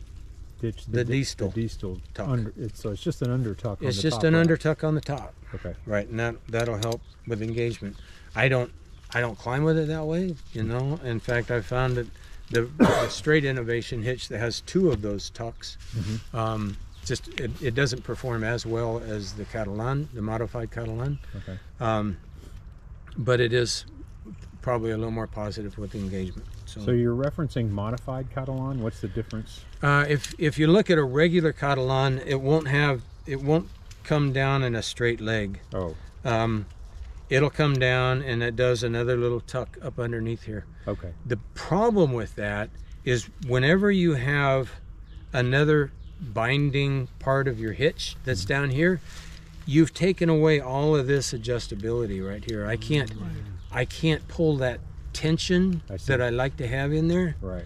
And you'll hear people say when the hitch stretches out, it starts to get the hitch. This cordage is not really stretching out. We Right. we know that, but what happens is it starts to conform itself to the climbing rope a little bit more, and so what starts out being uh, rather tight, what starts out being rather tight, um, starts to get uh, a little more open. But again, it's it's really easy to lanyard in, and with that stevedore knot, it makes it just really easy to put in a little bit more more Snug tension. Yeah, just snug it up and put a little more tension in on that. Um, another thing I'll mention, I don't think it's in the syllabus. You'll see people if they're new with the hitchhiker, they'll try to push it up this way. Yeah. No, it's not. It's Yeah, that's yeah. it's designed not to work Uppercut. that way. Uppercut. Yeah, if you if you do that, what you're doing is actually engaging this proportional friction. It's not going to work. If for some reason you find yourself in the tree and you don't want to connect your tending device, you're only going to go up two feet or whatever. Mm-hmm. Grab it from the swing arm and lift it up. It will disengage that pin down there. But if I'm not disengaging that pin, I can pull on this all day long, and I'm just making it work the way it's supposed to work. Well, an, an- uppercut works the same way this way, right? Or Yeah, no? I mean that's that's Yeah. tending the device. Yes. Yes. Yes. Now I haven't I haven't sat on this yet to Right, to right. set the hitch, so it's really tight. But yeah, that's the same thing because when I do that, that automatically lifts the pin There we go. and disengages the pin, Perfect. just like this disengages the pin. Mm. But this grabbing the body engages the pin. Okay. Mm. So you'll see you'll see guys, and they try to do that, and they'll be frustrated. How come this thing won't move? Right. I just want it to move because I want to step up on the next branch. It's like you just gotta you gotta do it from down here. That's Yeah. the way. That's Well, the we way it teach works. the uppercut with our moving rope. Yeah, So well, we'll teach I mean, that same move. That's the tending thing. Yeah, But you will find you will find sometimes if you're just standing around and you're not going to go very far, it you know you can go either way. Okay. So I find that is particularly helpful if I'm. I'll just demonstrate this without actually being.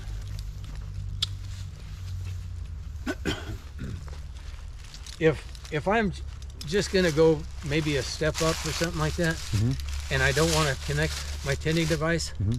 I can't do that now. right. Ah, yeah. So if, if I'm if I'm standing on my rope, Yep. and maybe maybe I'm standing on my rope and I just want that to be a little higher. You know Uh-huh. how you are when you're getting in position and things like that, Yeah. and you still have tension down here.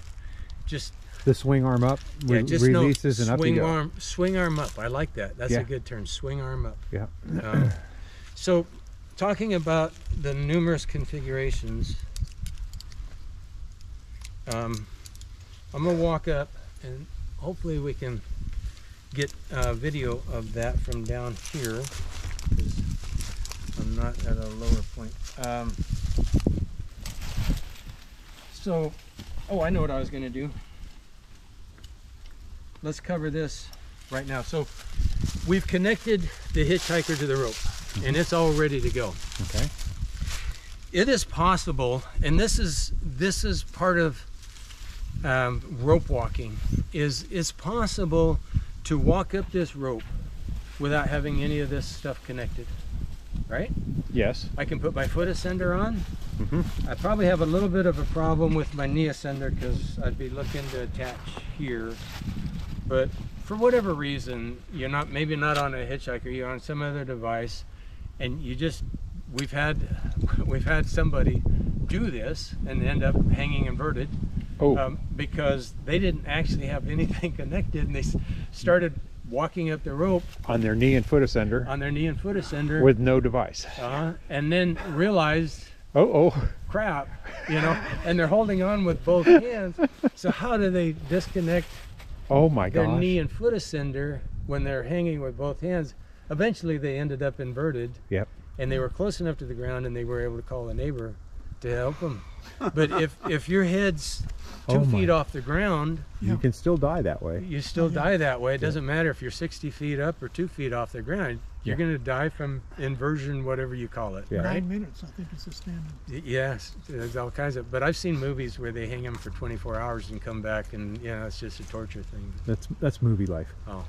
Um, so anyway, I've I've put this on. That's that's done, and I'm going to test my hitch. All right. Back give it a pull. I go, yeah, okay, I like that. And I usually, I usually give it a, a couple. And uh-huh. now, like you said, I can tend it, uh-huh. and I'll sit on it one more time, and I, I kind of just make sure it's not creeping. I like it. It's working for me really good, and and that's good. And later on, it's it's gonna it's gonna set in a little bit better for me and stuff. But anyway, so I go, okay, that's supporting my life. I've checked the hitch and everything else. Um, so next thing I'll probably do is connect the tending and my foot ascender. And now I'll take a step and again this is a check on my hitch and on that and on my tending device and I'll look up and I'll check my anchor and stuff. You know back in the Blake's hitch era and Peter developed the the back system and all that kind of stuff. It was great. We don't have a carabiner, so there's some modifications for that kind of a procedure. Mm-hmm. But if somebody will do this every time, and again, what I like about this, this is not terribly comfortable right now. But if I were to pass out, Your head's be- up. I would be heads up. I'd be fine. Yep. Yeah. So I'd our have back sore check still works because we can use this as the carabiner. The the what works? Our, we use the, Peter's back check, right? Yeah. Belt, anchor, carabiner, knot. Okay, if you want to do that, call that a carabiner. Yeah, yeah, I know, I know. You want to still use that? Uh, is, that's just great. I mean, whatever, whatever works. Yeah. Um, but if you get on a rope and you kind of take a moment, you will also notice if my leg loop wasn't connected, Mm-hmm. and if I didn't sit here right now, if my leg loop wasn't connected, my ass would be hanging out this way, Yeah. and I'd realize I, I would notice that this isn't connected. Uh, You can almost sit back a little bit, and if that was really loose, but you know you feel all those connections, right? Yeah. Mhm. When you're when you're there. Um, and then of course the next thing I'll do is take my. This is a foldable SAKA. Um, and again, this is, we'll talk about that backup. Right now, if I were to disengage this, I'm only going to go down that far. Yeah. You And still have slack to get out. That's not comfortable, but imagine Yes. this old guy, if I went to where my foot was there, oh man, I'd be Yeah. I'd be crying in pain. Oh, yeah. I'd probably be, you know, I'd really need some help. But with that, that's gone up underneath my multicender, again, I'm not comfortable. I would really be pissed at myself for whatever I did to allow, but that's a backup. Yeah. This is a backup. This is a backup. That keeps me from falling to my death. Uh-huh. But it probably just gives me a slow death, right? so I don't know. I don't know if I want to fall to my death or have a slow death. Either way. But this, I like that because you can still build slack into this to get out of here. yeah, this just makes me feel uncomfortable. Yes. But I'm still I'm, I'm right here and everything. Even if I didn't have the strength to pull myself up, and I think most people climbing a rope are going to have enough strength to, to stand up here and pull themselves back up. Yep. Exactly. So you know that that's just an important thing to get to get all those ducks in a row before you start going up the rope. Beautiful. So now that I've got that, so what I'm going to do to show the multiple um, configurations and how easy it is to change, I'm going to climb up there, and all I'm going to do is connect that end of the climbing line Uh-huh. into my device, and I'll be right back. You got 7% battery to make that happen. All right, we better we better quit talking and make that happen. 6%. Six percent. That might be more percent than I've got climbing up the rope.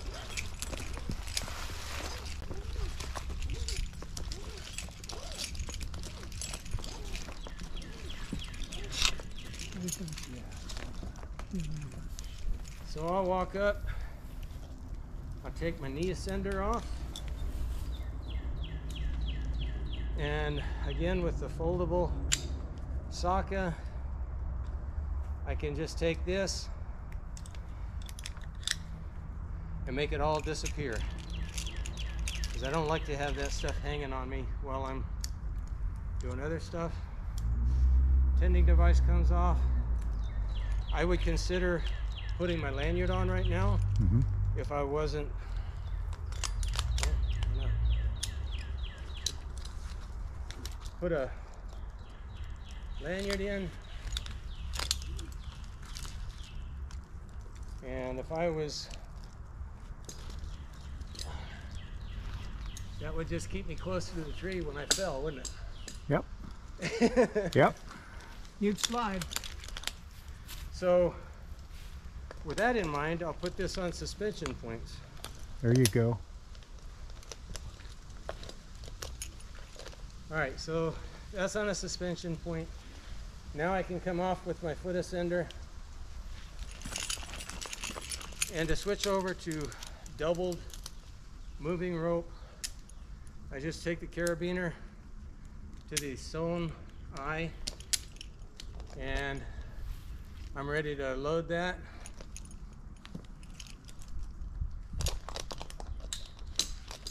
Lanyard comes off.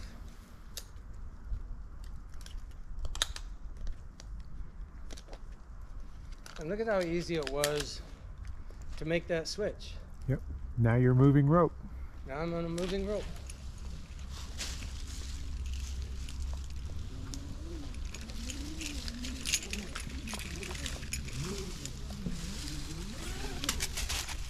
Beautiful work. Um, this is the clipping. not going to be. Yeah, so I take that off. No more moving rope. I didn't have to. Yep. I didn't have to untie my anchor. I didn't have to disconnect anything. All I had to do was connect the other part of my moving rope to make it a moving rope.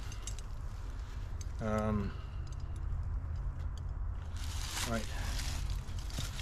What we have is some other configurations. Uh, I don't know. They're like 30 minutes and they're older batteries. So Okay. while we're talking about that, let me just let me just mention that again because you were talking about it. So this area is kind of a sacred area to me when it comes to being close to my multicender and stuff. And if you're leaning into it, something can snag on there. That kind of concept. Mm-hmm. Um, this it would have to be up here someplace to snag. Probably much less likely than if it was right here, where everything everything lives. Um, and then when I'm done with it, I like things that have multiple uses. It just becomes suspenders I like that a lot. on my harness. So, and and as you notice when I set up my rope walking system, this is just really easy to put. We talked about the tautness. Mhm. This is really easy to put tautness into my climbing system, uh, just with a single pull there. Whether I have to match it with anything going on my bridge or not, uh, it just you know just great versatility and functionality and stuff. And so, all right. So.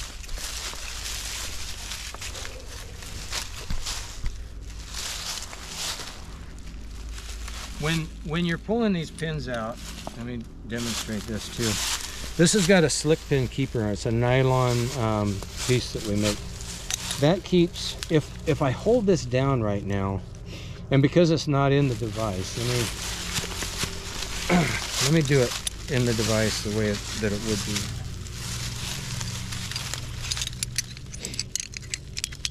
That keeps me from dropping that. So when I'm coming out of the device, I do the push and the pin and the pull and everything.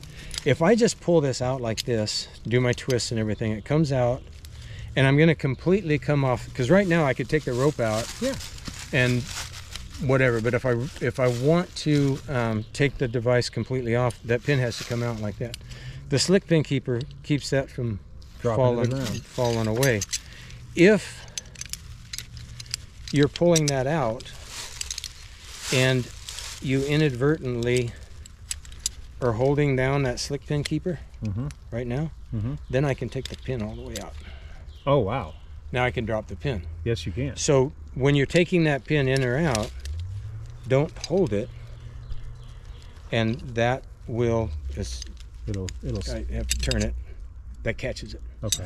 So if your if your thumb's on there, you can bypass that. Cool. And I'm all locked back in. So I'll do my little All right. rope walk again. Round two. So I'll put on a foot ascender. Put on my tending device. This is where I snug it up. Mhm. And I like to see minimal slack in my system. Take a step. I've already tested my system. Sit back on it. I like it. Check everything. Laying back like that makes it a little easier for me to find my SAKA back there. Take my SAKA out. and up the rope I'm ready to go let me uh, let me mention this too while I'm while I'm here notice that I connect my SAKA with the lowest point of my multicender again this area up here is kind of a sacred area to me and I want to concentrate on keeping that as clear as I can I don't have a belay guy watching this all the time it's me mm-hmm. I've got to watch this. And so connecting my knee ascender to the bottom of my multicender means that I don't have anything that goes from my functionality of my feet above my multicender. If I pulled it over my chest or uh, attach it to my chest, if I put it over my back, if I do anything like that, it's going to go up past my multicender. And if you have a multicender that has levers and arms and things sticking out. Who's to say that bungee's not going to come loose or whatever disconnects, swings around, snags on the top, takes you to the ground, right? Okay. So when I walk, my foot ascender is limited in travel by coming up to the multi or the knee ascender, right? Mm-hmm. And what what's the limiting part of my knee ascender? To the bottom of the hitchhiker. to the bottom of my multicender. And so with a SAKA, I can keep all my leg activity down where my legs are. Nothing comes above where my legs are. Again, just kind of keeping things clean, keeping things oriented and you know you can't you can't do that unless you have have this. Right. So, anyway. So, foot ascender. Foot ascender comes up to the knee ascender. Knee ascender comes up to the multicender. And, and they don't get mixed up. No, I mean, I'm, I scheduled the whole day for it anyway, so. Okay, great. Um, all right, I was going to make a point. Um, Dragging tail. yeah, we'll get to that in a minute. I was gonna say, when it comes to setting an anchor, um, all right, let's do this. Uh, there's there's another part in there where it talks about the scenarios for um, setting an anchor. So there's basically um, three scenarios that you'll find when using. I use shorter ropes Mhm. because I use a um, a separate retrieval line. Mhm.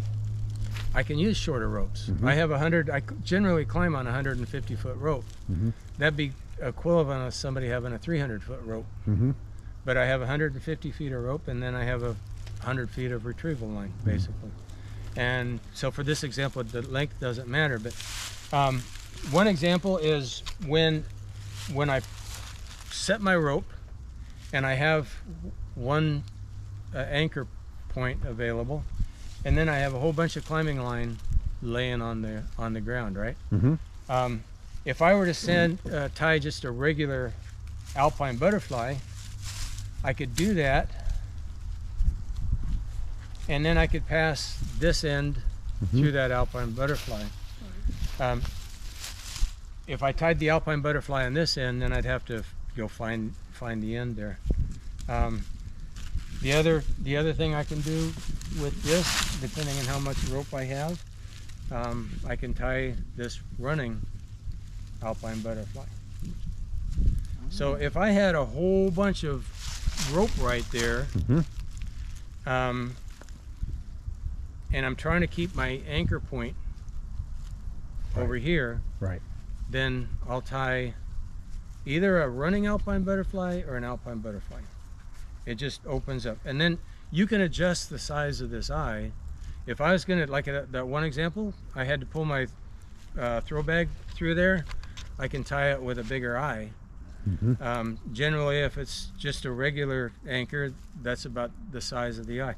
I'll never send a quickie up that goes really high or goes out of sight. I love the quickie, and I'll talk about those, but um, I'll never do that for the initial for the initial anchor because there's too many things that can go out of sight and can be what I don't. What I, there's too much distance traveled from the time I put that quickie on to the time it arrives at where I want it to be. So uh, that goes on, and then I take my retrieval side and I'll send this up for the retrieval line, right? Mhm. Now the other option, the other option I have when both ends are on the ground, Mhm. um, I can put Make a continuous loop. make a continuous loop. And you know, there's there's always debate debate about if you create a continuous loop like this, can somebody climb up the other side? Ooh. And um, Like for a rescue or something? yeah, if you your girlfriend, friend, or something gets stuck up there and you want to go give them a hand, as long as that anchor supports your weight, there's no reason I can't put another climbing system on here and and go up and give them a bit of a hand. On the side that you're the climbers on? Yeah, th- they're on this side and I'm on this side. Really? Now, if they stand up and take their weight off, what happens? You're coming down. I'm coming down. So there's there's a whole bunch of pitfalls in doing that, but it is Possible. it is possible. And the other thing is now it's retrievable. Right. I have made a retrievable climbing You- line. You've made an endless loop. The other thing I can do is I can take that small line, and if I don't want to play it all out, I can put it in a little bag, Mhm. and it goes up Uh-huh. the climbing line. Another option is this would be, I won't, just in the sake of time, I won't put this on the rope, but I'll go ahead and put this on the rope Mhm. and send it up. Now, when I get up there, I have the other versatile part of my climbing line that I can I can get up there and I can use that for a long lanyard. Okay. I can use it for a doubled moving rope. I All that has to do is come off, and I got it for a lanyard. I see. If I didn't want to send it up, in other words, I'm going to use that other retrieval, that other retrieval line. This can still be on the tail of my rope, Mm-hmm. and I can climb up with it as a lanyard. Yep. I mean, I, I still generally carry my lanyard, but this makes a nice lanyard. Yep.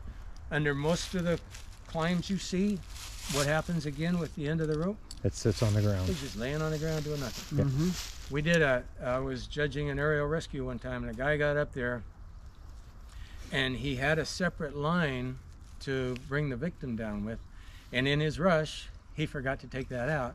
You don't have time in the five minutes to go come back down, get your line, go back up. Right. And he was like, "Oh crap!" I, you know, he didn't do anything, and I couldn't say anything because I was judging him. As soon as he got to the ground, I said, "Dude, you had a whole nether climbing system. You know how to tie a Blake hitch, right?" He goes, "Yeah." I said, "You had that whole climbing system just laying on the ground. Yeah. Why didn't you take that tail up, Blake's hitch, bring the victim down on that? You would have, you would have finished." Yeah. Uh, so many times we just forget about those resources and they're just laying on the ground. So those are those are some options when it comes to ascending, what you're going to do with that secondary system, and and how you're going to use it. So there's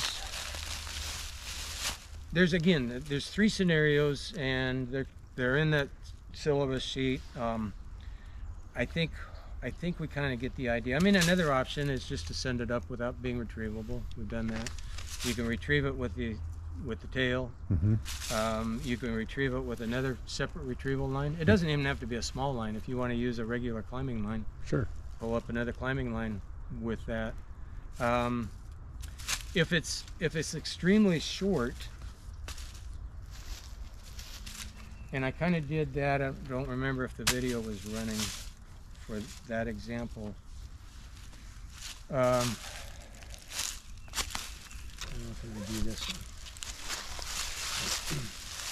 Let me just try if try to explain it. I think. So if it's extremely short, and when I'm when I'm done trying to set my line, I've only got this one, and this other end isn't quite come down to the ground yet. Mhm.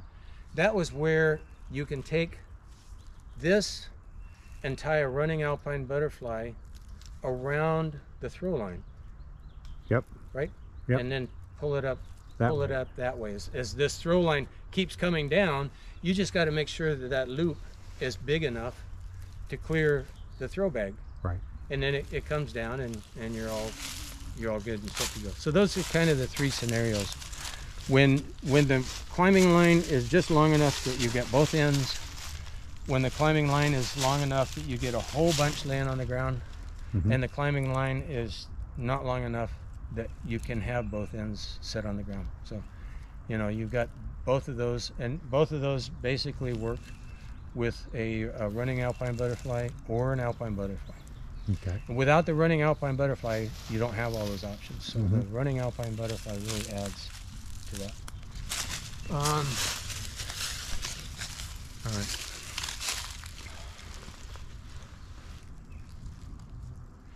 Yeah, we talked. About, we did talk about the not the typical flop that you see when uh, rope walking because that flop is inconsequential. I mean, it doesn't it moves around, it flops around a little bit, but its impact is is uh, minimal. Um, let's talk about dragging tail, three to one, five to one, and maybe um, an on bite redirect. with those things. Yeah. Definitely. Um, let me. I'm back. Okay. Yeah, That's you're on. so there's a lot of ways to tie a regular alpine butterfly, Mhm. and I think it was B.J. Brock demonstrated this once at a competition. And I didn't see how he tied it. I kind of came back and read, figured out my way of tying it, but it was his demonstration that was like game changer. Yeah. I got to know how to do this, Yeah. and so I mean, a, a running alpine butterfly is just a huge game changer. Yes, it and is. it's so easy to tie. But safety knot, just like that. Right? If I was sending up a bottle of whatever, that kind of stuff, that's kind of what you do. Mhm. This comes out, right? Mm-hmm. That comes out. Notice where it, notice where it came out of. Yep. That comes out. It goes around And right back in. and right back in. Before you forget where it came from, it goes right back in. And notice I'm holding it like this. I got my thumb over this, and my fingers are kind of keeping keeping everything oriented. If you if you don't do that, then it's really hard to remember how mm-hmm. Right. how it runs. So this end comes. I've got a hole right there, right? Yeah. That's really about the only. If you're not holding it right, I guess, but that's that's the hole that it goes in. So this comes out, and as soon as that came out, this hole got created, Bada bing, bada boom. and there it is. I mean, it's just it's done. And then you always verify it with a parallel. So Peter and, And I are going to go home and do about 50 of these back Yeah. to back. It's like putting a half hitch on a safety knot Yeah. after you've looped it around. Basically, yeah. Yeah. I mean, that's that's all That's it a great- And that's I like that. um, yeah, it's like a half hitch on a safety knot. Yeah. Safety knot. Everybody ties a safety knot. And I've I've showed some others, and they go, "Well, I don't do it this way. They do it a different way." And it's like, I can't help you. you know, I can't I can't help you. If if, if you want to relearn it the way that you do a safety knot, then That's you know fine. Go yeah, no. go for it. But this just this just works. That's the easiest, simplest way I've ever seen. I Yeah, love it, is. like it's that. just it's just you know comes in like this because I don't have a great memory. I got to put that right back where it came from. You know, my fingers are holding it all together. Notice that there was a little loop right there. I don't mm-hmm. want to see that. I want to see that loop. That comes up, creates a new loop, and I'm done. and it's done. Um, if if you do, you can you can. There's always errors that can be made, and I'd I'd say, you know, when you when you come back in this way, um, it could be it could be nope, don't want to see errors. fine. Yeah. So, I mean, it's just I'm holding that. It's just Yeah. It's just the way that looks. I'm holding it. It's easy to hold. It's easy to hold, and out then of the hole, goes back through. that just goes in like that. done. And then again, uh, we always tie, dress, and set, Yes. and we never hear the verify part. Mm -hmm. And a lot of times, the verify part is really important. Mm -hmm. It's parallel, and it's crossed. Yep. That's verified. And it wouldn't matter if I can change this if I want. I can do that, and I could put the cross on that side, and now the parallel is on that side. It doesn't really matter which side it is, but one side has to be Parallel. one side has to be parallel, and the other side needs to be crossed. Mm. And if it's tied, dressed, and set properly, you'll see that. If it's not, then you might not. It's you can mess them up. Oh yeah. I don't know what that is that I just did, but you know That ain't it. that ain't it. You know, it's just so that verification step is a really important. Thank you. Yeah. Love that. Yeah, we could add that one. All right. We have to. Yeah. Yeah, it has We that have has to be part of. I mean, that's just all of this stuff that all of this stuff that we're doing just becomes possible. Yeah, I don't I don't see this enough. Um, and again, it, our competition climbing events are in a little bit different environment where the trees been inspected. You got a tree tech up there. The the root's been laid out. The head technician will tell the competitor where and where they can't set their anchors and whether a base anchor or a canopy anchor is required and all those kind of things. Then we get away from that environment and we're back out in the wild trees or working in somebody's yard or something like that. We kind of have to make that determination. So setting your highest anchor for functionality and all might be great in a competition, but when it comes to that wild tree, it might create a problem too. So I tend to go for as close as I can to the stem and someplace within maybe 75% of the tree. Mhm. And I don't get much higher than that. Of course, taking in the tree and the species and the environment and all that kind of stuff. Setting this is what makes tree climbing different than all these other disciplines is that you know you have to have somebody say oh no i'm really familiar with that sweet gum and i think you're okay right there you know? And if you're not then if you're going to climb a tree for the first time go really low someplace where the tree's really strong and start going from that and then get a feel for it and stuff. That's a whole that's a whole nother subject. But what i don't see enough is in that process people checking their anchors and if you look at an ANSI standard, ANSI, ANSI uh, talks, ANSI talks, no, you're okay. I'm just, my mind is like, oh, okay. So ANSI, it, no, no, no, don't, don't go with that. I'm going to finish this and then I'm going to come back to what you're doing. I think you'll like this. Um, We're going to turn But- the video off too. yeah, ANSI has a deal in there where you're supposed to test your anchor with a double load. And I agree with that, except that I would add that it needs to be a sustained load. Trees are built so that they can take a gust of wind you know, without blowing over. Yeah. And then if it's a sustained wind, that might go down, right? I mean, it's just the flexibility of a tree. But at a mm-hmm. comp, you'll see the guys, and it's more for show than anything else. But you'll see two guys, they both run over, they give it one of these, and it's, yeah, that feels good. And there is something to be said that, yeah, it feels good. I mean, these are experienced climbers, and they know, yeah, that feels good. But I think most of it is just for show. But what I would what I would propose um, that uh, is taught much more is uh, a double a double load, but it needs to be a sustained load. And I've done whole videos on this, but a sustained load that tide dress set verified, a sustained load that um, I'm going to send this up without any retrieval.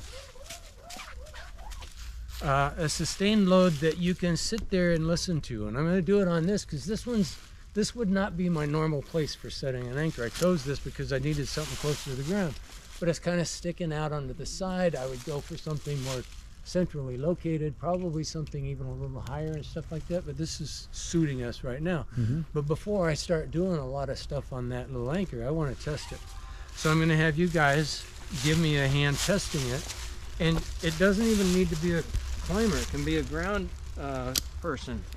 Uh, it can be anybody, you know, be just a friend that doesn't know how to climb. Right. And um, so this is this is just really easy to do too. So again, here's one of my the little safety knots, right? Uh-huh. All right. So what I'm doing with this is I'm going to create a foot loop, right? Yep. And all I'm going to do is put, I want this to be high enough that I can stand on it. I'm not that flexible, so I can't have it too far off the ground. And then another safety knot As a stopper? Yep. as a stopper knot. now, without doing anything, I can stand on this and I can sit there All and day. you guys can listen to it and I can watch it and I can look here at the base. I can see if anything's moving. And Brett, come over. And stand This on will it. be our two-person sustained load. Just put your foot next to mine.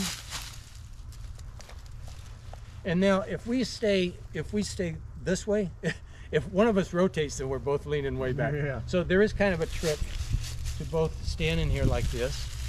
And now we got a double person load, and we're on it. and I'm comfortable. Yeah. He's comfortable. Yeah. Yeah. Nobody's nobody's sitting here going, "Oh, we got to get off of this in a hurry because I'm really tired." Right. I mean, I'm not I'm not a muscular guy, but I can stand here and so could Brett. And we'll give this a long time. And I would shut my mouth and sit here and listen. Okay. And you can tell if anything's moving. It doesn't take long. When I'm done with it, I didn't have to take any hardware. I didn't have to take anything off my harness. Yeah.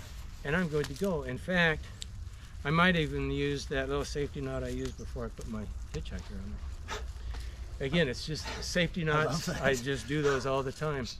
And more hmm. people do that. And I can't tell you the number of times I've read Facebook or whatever, a guy will talk about he was going up the rope and he got 35 feet off the ground. Notice it didn't fail right at the beginning. It didn't fail when he gave it that pull. It failed when he got about 35 feet off the ground, maybe a couple minutes, and then it failed. I mean, trees just do that. They they can take a hit, but the sustained load is. Um, anyway, Where the test is. I had a, I had a tree go over me on, on one of my pull tests. yeah. You know, it was, it was This a, was making you twitch. I gotta Yeah. know. my throw line. I'll show you. I have, I that's my throw line in my bag, Right. and then I always have another, another one. This is my other one, Okay. and you'd probably look at that and go, "Yeah, good luck getting this out and not being all tangled up, right?" So it's that pinky thing. Yep. If you do this pinky thing for these small cords and throw line, Uh huh. and it, it looks like it's hard That's the same as our elbow thing. yeah, it's same as your elbow thing, except this is easy to wrap up and it'll keep it all together. I do this with that throw line that you saw in there. Now, when I've got that, now I take this and I give it tight. yeah. Make that tight, and that keeps that from going and being anything weird. And then if I'm going to store it and all that kind of stuff, you do that little loop like everybody does for their for their ropes and stuff like that. Oh, the sailors. And then right, then you have that to throw around. You, don't get it yet. Uh, Now, when you take this apart, this comes off. And if you don't unwrap it correctly, you'll end up with a mess. This one, this one was the one that I started with, hmm right? hmm Just for fun, we're gonna lay this out. And if Yeah. I just pull that up, and I could be dropping this out of the tree too. Mhm. But it'll just keep coming like that, and it just uncoils, and it doesn't give me a tangle at all. I guarantee you, if you do Now do the pinky thing again. if you do this thing Uh huh. and and try to do duplicate that with that, Uh-huh. it it won't work. You'll end up with another tangle. But the pinky, again, that's that's where I started. You got to remember where you started it, and then you just do that Just make your X's. yeah, you just keep doing that, and you do that a while. Pretty soon your pinky gets good at it Now, why won't it work when you do the elbow thing? because those loops are Are so much big. longer Too big. that they can catch on themselves. Yeah. When it's a smaller loop, and I've done this with my throw line. Mm-hmm. I'll lay my throw line like that, and I'll do that, and you watch that thing just go. There's a video someplace I've got out there. It just goes, and it just pulls it right out. On occasion, if you haven't done it right or whatever, it might catch a loop and mess the whole game game up. But anyway, that's a great way. And again, if you're in the tree, if I if I'm in in the tree and I were to send this up to be my retrieval, and I didn't want to Yeah. play it out right now, I just wasn't sure if I was going to use that, and I send it up that way. When I get up there and I drop that out of the tree, It'll fall. that comes out pretty well. Always So- keep the part that you started from. Yep, you got to, and that that'll be the inside part. This has this has carabiners at both ends, but if it's my throw line, again, I'll put another little safety knot. I'll put a little safety knot, and then my thumb goes in that safety knot, and that's how I keep. That's really cool. Sorry about No, I was no. wa- I was watching that. I thought, okay, there's a tangle coming. I see the tangle. Starting to have, starting to twitch. This is this is what I use for retrieval line, and I keep saying eventually I'll get it on my website and stuff like that. Um, this was some off-shelf. I, I mean, I, I got it. it was kind of an end of a run, so I need to be able to get some of this made. This is a little bit small. I have some other stuff that's actually what I use, and it's um, I think it's about four millimeter. This is like three and a half. If it gets too small, it gets pretty tangly, and it would be great if this was brightly colored. Um, but if it's about four millimeter, and the important part is that it has to be an aramid fiber, non-stretch. Okay. Uh, needs to be a Dyneema or Spectra or you know one of those, because when who hasn't had an anchor up there that you're struggling to get out, and and I'll put this my foot ascender. I'll actually work on the small stuff. Oh wow. I'll step on this with my foot ascender and I'll pull loose a stubborn anchor. Um, If it was stretchy, like if you tried to do this Yeah. with, you know, that throw line that's all nylon, it really stretches. Really bad. Or if you did it with any kind of a nylon type of a rope, It's gonna snap, stretch yeah, and snap. It's, yeah, it's not going to snap.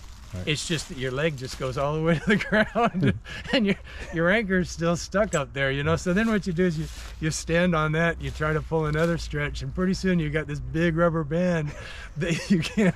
And if your anchor doesn't come loose, it's like, well, how do I get off of this thing? I'm gonna, I'm, I'm standing on a big rubber band now, and I, you know, I can't get off of this wagon. So having a non-stretch and there's uh, sterling makes one i think it was called power PowerCord or something hmm and it's uh, 5.9 millimeter it's a little bit bigger than what i prefer but uh, it was it was good except it was more expensive than climbing line so it kind of is like yeah, that might as defeats the well- purpose. other than the weight other than the weight factor i might as well have a regular Right. climbing line. so Actually, kind of like the fact that it's not brightly colored. anyway, um, you know, and, and we'll see how we'll see how everything goes, but maybe we can start making this available. Yeah. I didn't wrap that up very good. I have a feeling you're gonna unwrap it. And, yeah, I have a feeling you're gonna unwrap it and practice anyway.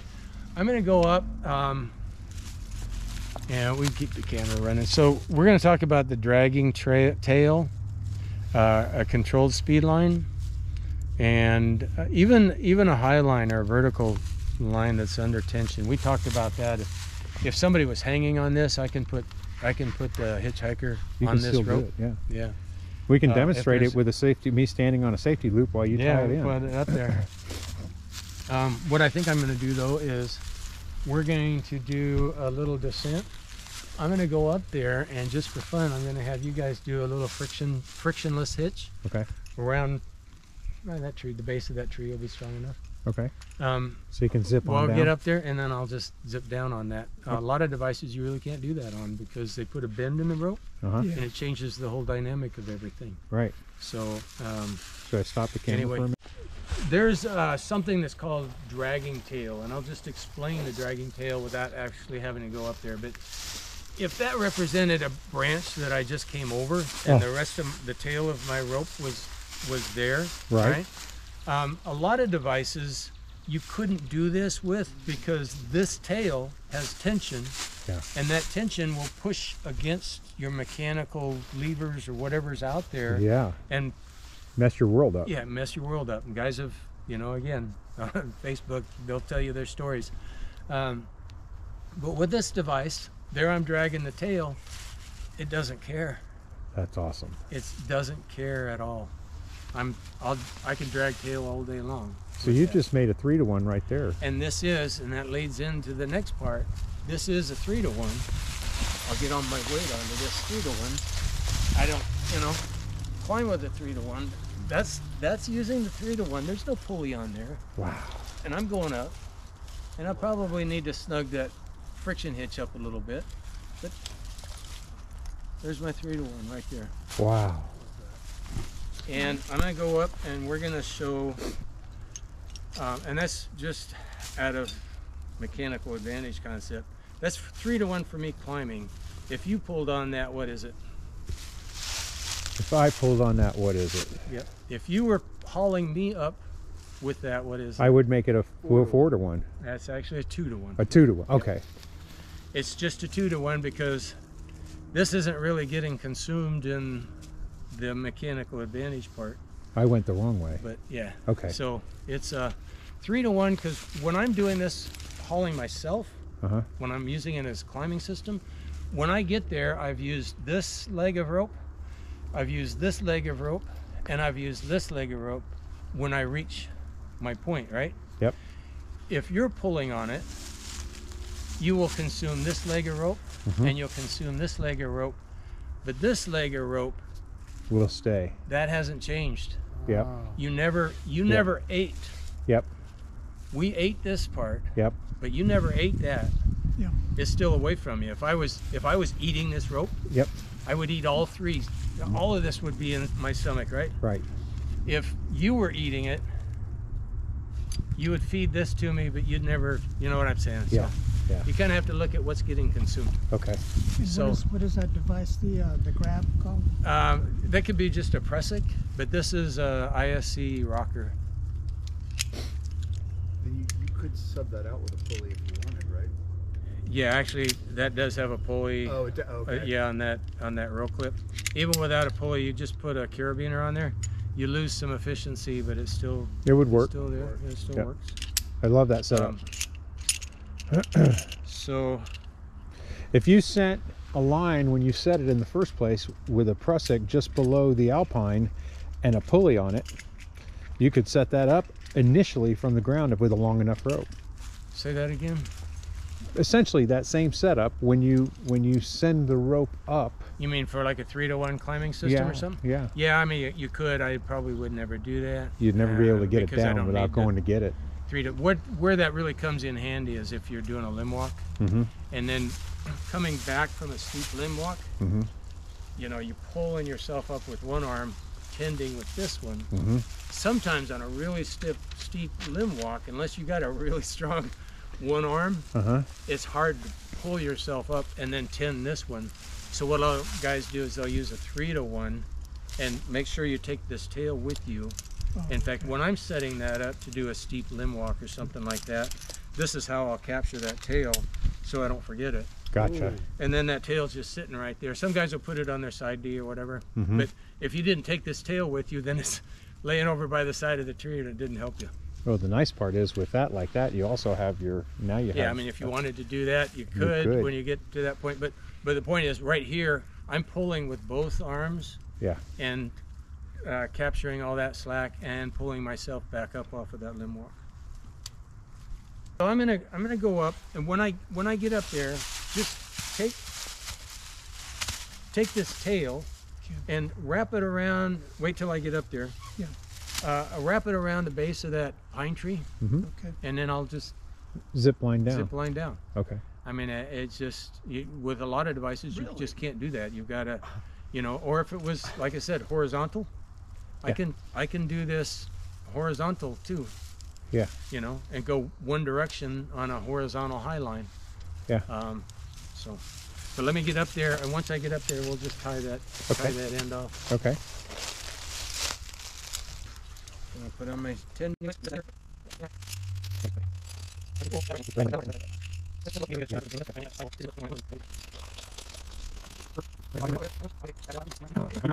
This can be at any angle, right? Right. We've done this in the club just a ton of times. Yep. Um, and in fact, we've gone over your house a couple times. Yeah, you too. know. So, um, and the hitchhiker works really well. While I'm at it, let me point something else out to you. A lot of times you'll see um, some devices, they'll put like a, a, a better handhold or something that makes it easier on your hand. Yeah. Or they'll put things on here to try to The little wood easy. balls or to easier to release the hitch and things like that. I think it adds to the vulnerability.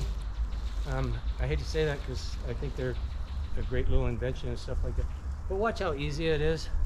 I can twist this. There's a half an inch. oh There's wow. inch. There's maybe a couple inches. You see how smooth that is? Yeah. Precision. I'm, I'm not pull, I'm not pulling down, dude. that- I'll do it with a couple fingers. That's Just- remarkable. finger. And then of course I can come all the way to the ground. I love how precise you can be with it too. Yeah. It's just super, Man. super precise. Okay, go ahead and let go of that. Um, and we won't even get probably today into the use of the extra friction Uh huh. Because that's we're probably going to both be on rope and do that. So let me see if I have Very cool. Wow um, so for fun, there's also a five to one, and I'm going to show how we can set up um, a five to one. Um, it's actually a, I can't do it because I don't have both ends of the rope with me right now. But again, if I'm climbing on it, it'll be a six to one.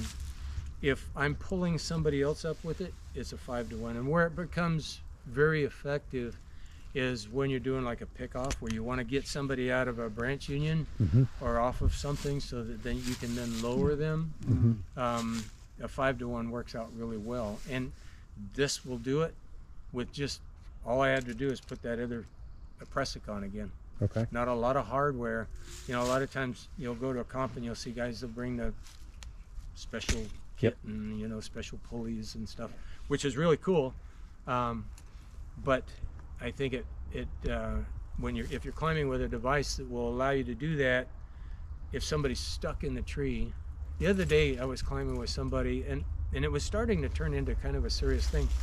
He uh, he got and I could do this too, but he got kind of stuck in a branch union Oh. with both legs oh. were Oh, on God. both sides of the branch union.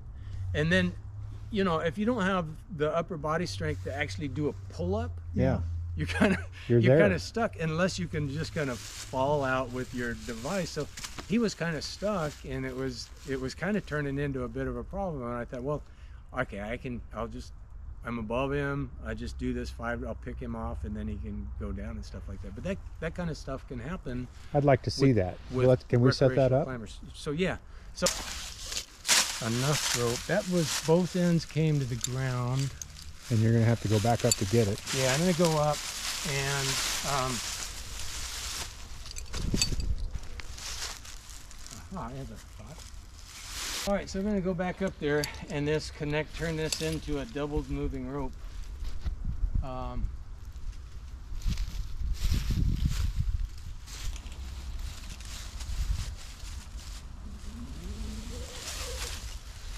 all right, I think I have lost a lot because I don't have a friction saver up there Mhm. and I don't even have a cambium saver. Right.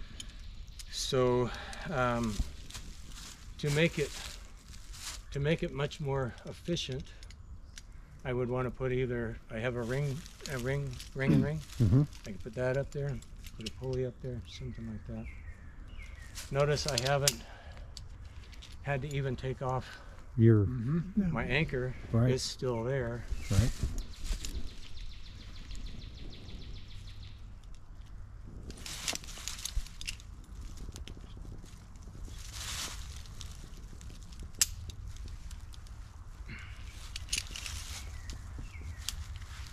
So with that configuration, and I'm pulling myself up, I have a compound six to one. mechanical advantage, right? And again, this works because You can advance it. it's nothing's nothing's getting in the way of my hitch. Right. I can advance that, just push it up a little bit, And go again. and go again. Now, if I was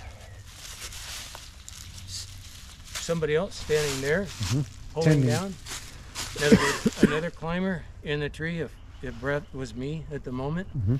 and I was somebody that was stuck, Now it's a four to one. if Brett pulls down, it's actually a complex five to one, and you need to pull straight down, and it's gonna be harder for him to do.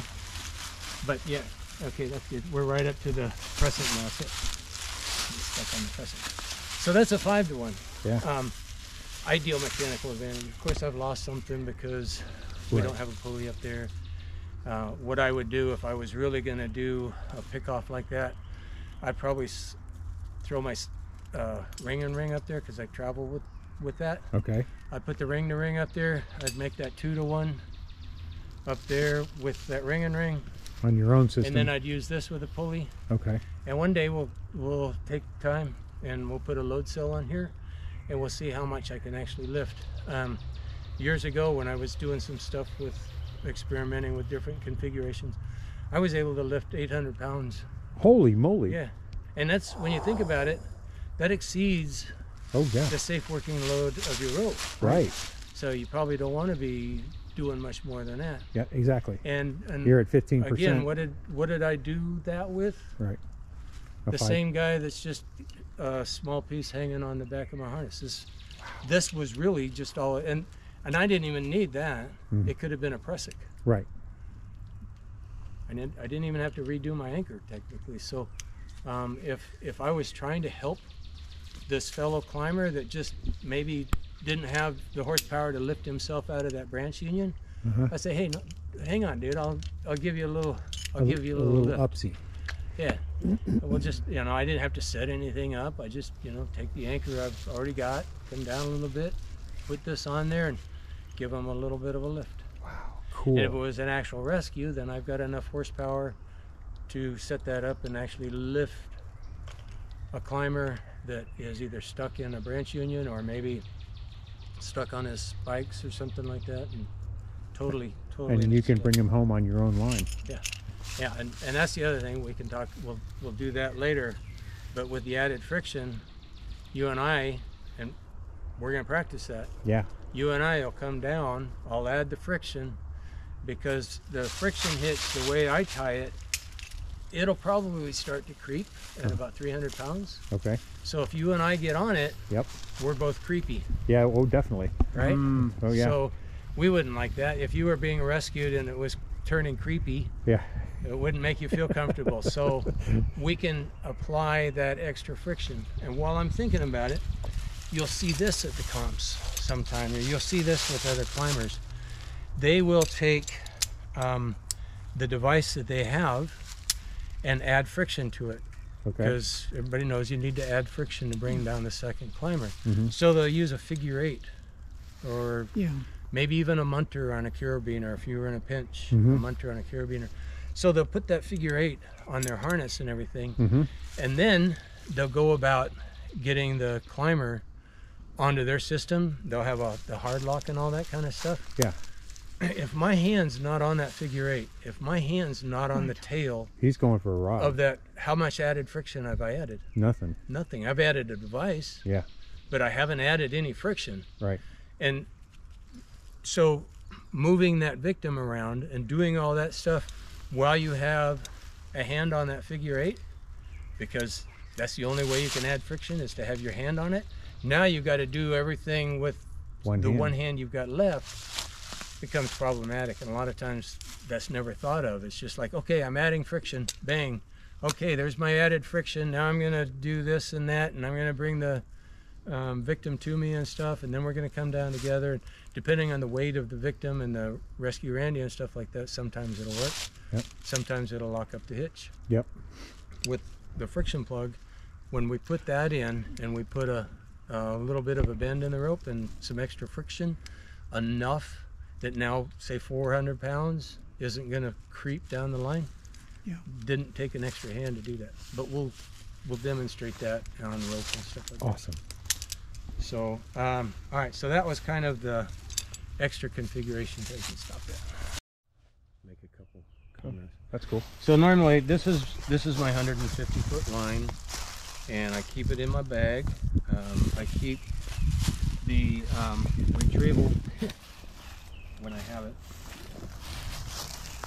That um, 100 feet of retrieval line lives in this bag. You can see this is a little bigger than the one we're actually using. This Yeah. is about uh, almost four millimeters, I think. Yeah. But anyway, so so that lives on there. I can flake it out and let it go up. I can send it up in the bag Mhm. that way. Um, I can put it on my harness, take it up.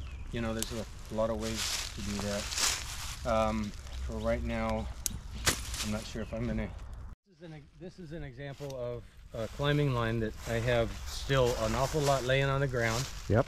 and um, I have enough to set this anchor. And so I'll tie a running alpine butterfly.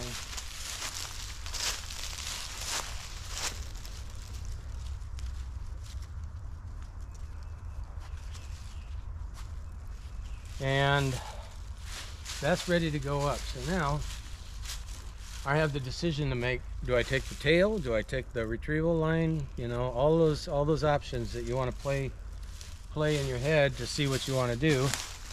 And I think what I'll do is I'll go ahead and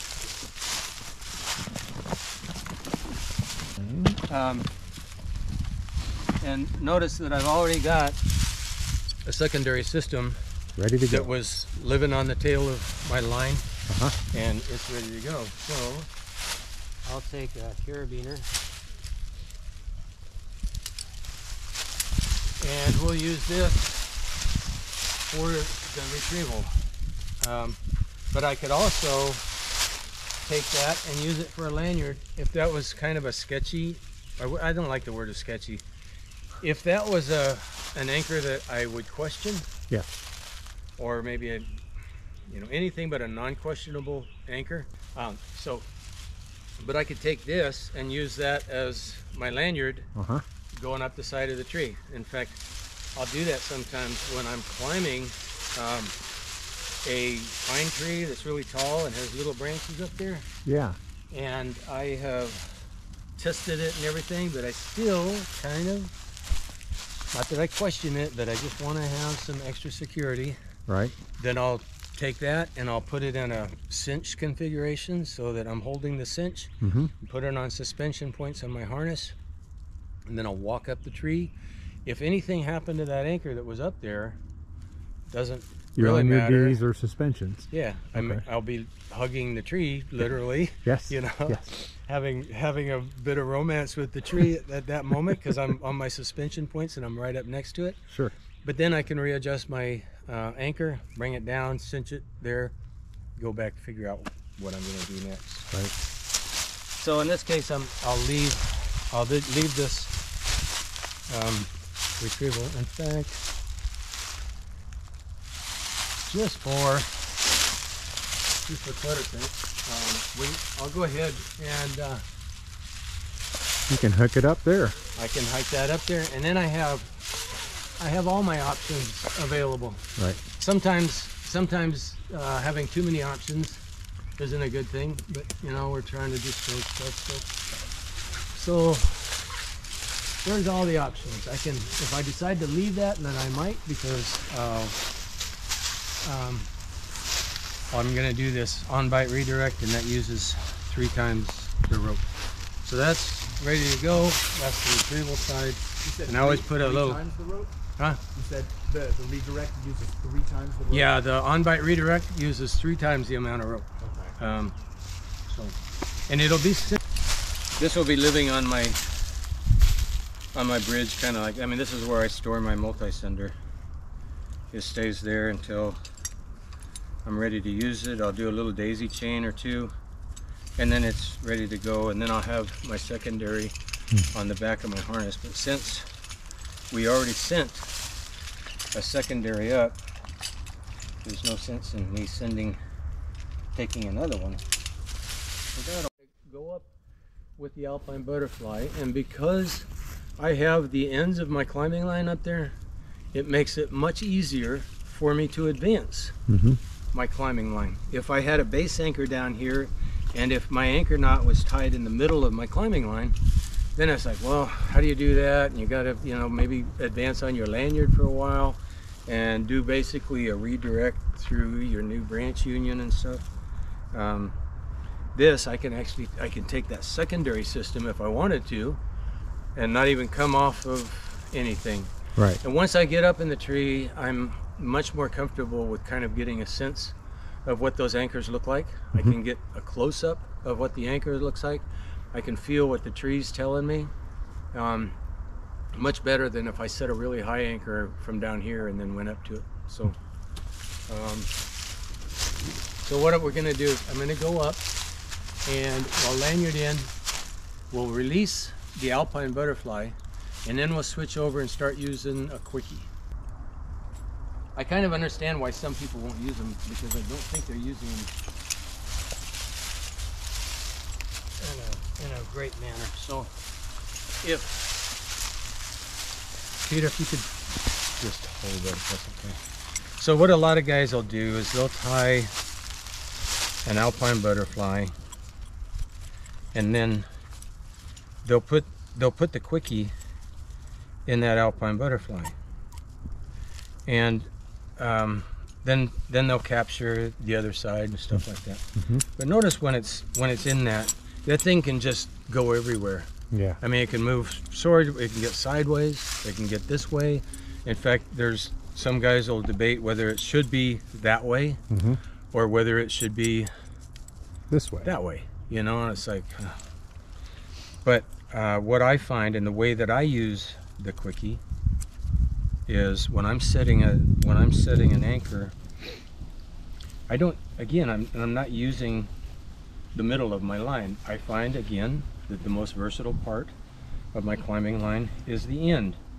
And so if I set this for an anchor,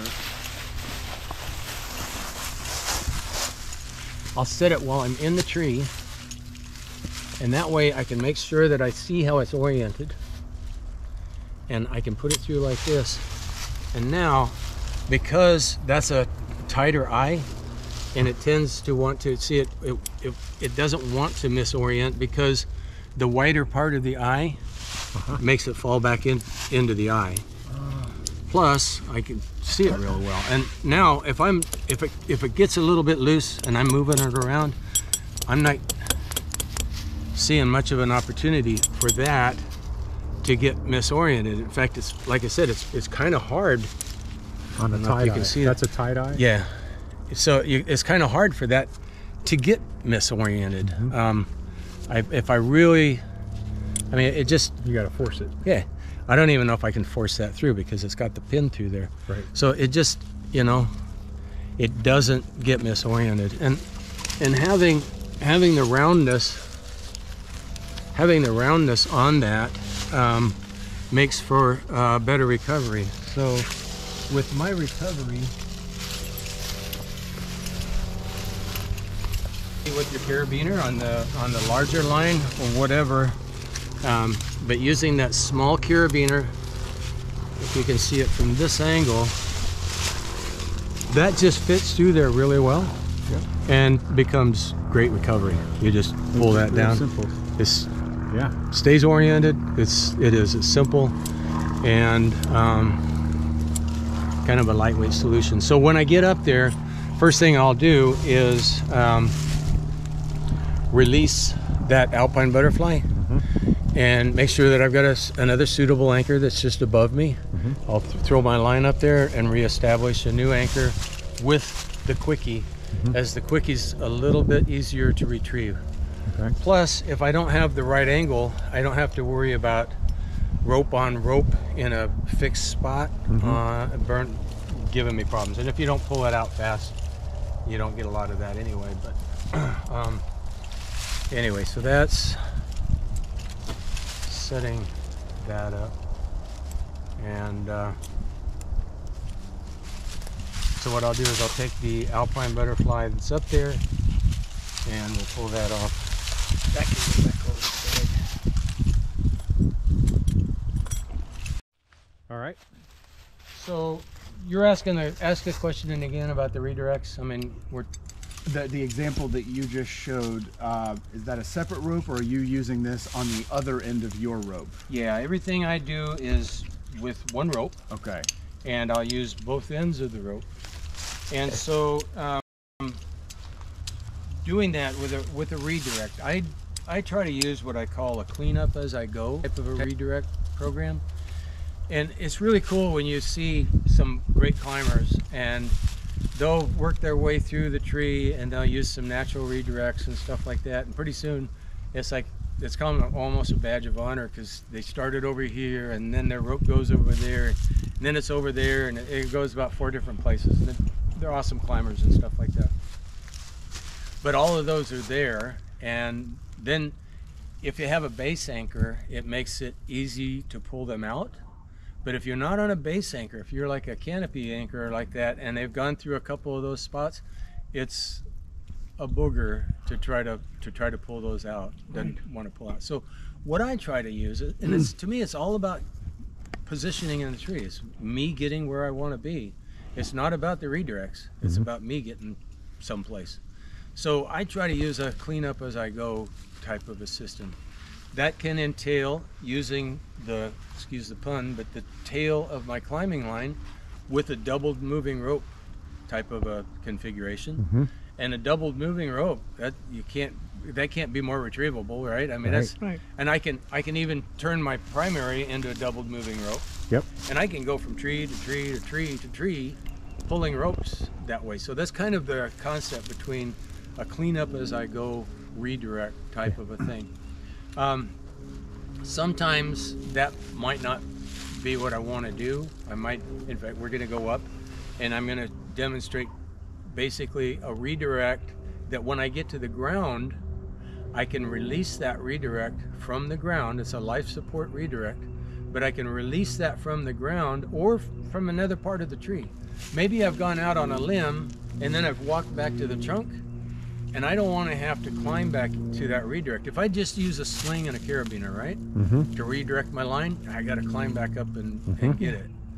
Uh, with this, I don't have to climb back up. I go back to the trunk, I can pull my redirect, it comes out of the tree, it's clean, it's gone, and I can go to my next spot. So I'm cleaning up as I go and I don't end up, not that I can climb that well anyway, but I don't end up with this trail of tears, trail, trail of work of every place that I've been, plus the vulnerability. I mean, in a working environment, when using chainsaws and sharp objects, do we really want to have a bunch of line that's all over the place, especially if you have another guy working a tree with you? It's bad enough to have a base anchor and have the back side of that line going up and you're using a chainsaw and it gets lost in the ivy and stuff like that.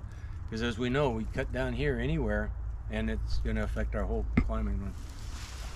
So does that does that kind of answer that question, or did I not even touch the question? Uh, yeah, more the second option. Okay. Um, so ask, probably my, my my fault for not not putting that well, but I'm just trying to mentally place because my brain went straight to you use the other end of your rope, you tie what Yeah. you just showed us, and then what you use your second hitchhiker Yeah. to pick up. that's that's if I was going to use the cleanup as I go, the double Okay. moving rope on Okay. that one. Okay. So Okay. right. All So that was the doubled moving rope, and then moving. Just I kept talking beyond that. Yeah. Okay. would be to go to that single line Mm-hmm. and and using um, the, the on bite redirect. Gotcha. There's- okay. There's other no clever redirects and stuff out there, but um, this is my preference, and we'll use it with a quickie. It doesn't have to be done with a quickie, but the quickie stays oriented, kind of takes the side load that you're going to be giving it. If you try to use, if you try to use a carabiner and you're on a small a small limb or something like that, then it can it can mess it up. I, I have read that the quickies are much less susceptible to side loading. They Yeah, they are, 'cause, they, uh, their, their design dictates that they can handle. It's just like a screw link. You know, a screw link doesn't have a gate on there. You screw the gate closed. Yep.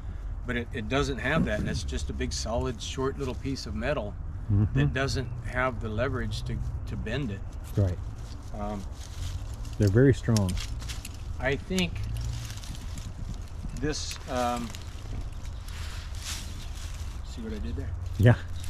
This um, wouldn't demonstrate it real, real well, but I think it would help understand what I'm doing uh, when I get up there.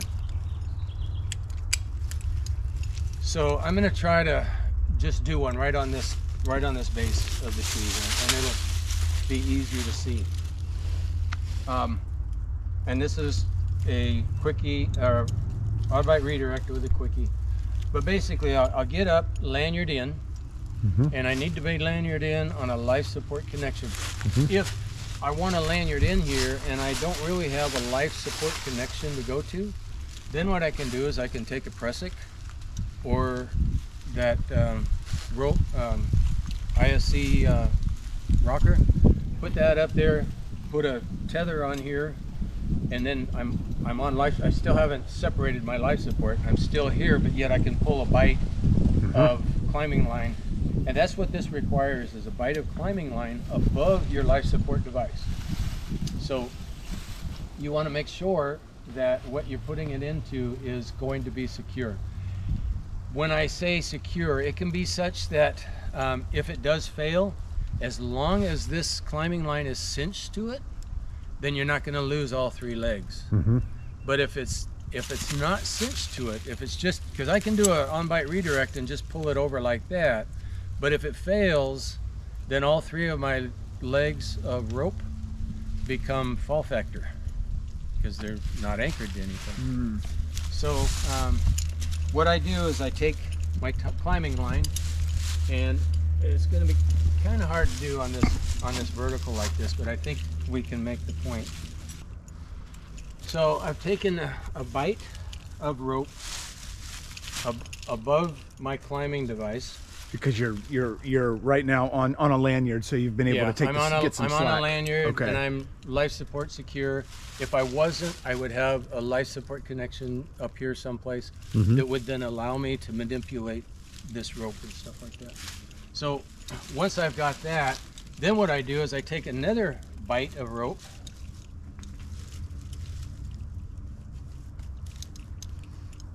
And that's going to go through that's going to go through my quickie like this. And you can kind of see, I'm going to cinch it up, but you can see what we have going on here, right? Uh-huh. So now to cinch it up, I want to take this slack out so that if if this limb were to fail or or whatever, and I you know depending on where I'm, I am in the tree and stuff like that, the orientation of that quickie is the pins aren't touching the side of the tree and it really doesn't have any place to go. It's not gonna it's not gonna rotate. I suppose if you put a lot of slack, you might be able to get something to rotate there, but it's not gonna be slack. And then this end of my climbing uh, goes and connects right there onto um, onto the hitchhiker.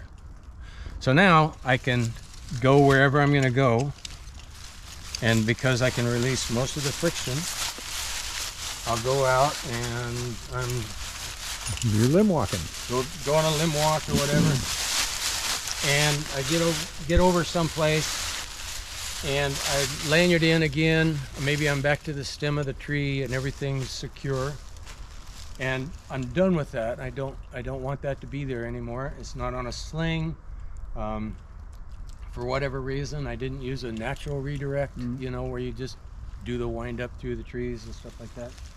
So this comes off Here comes the magic.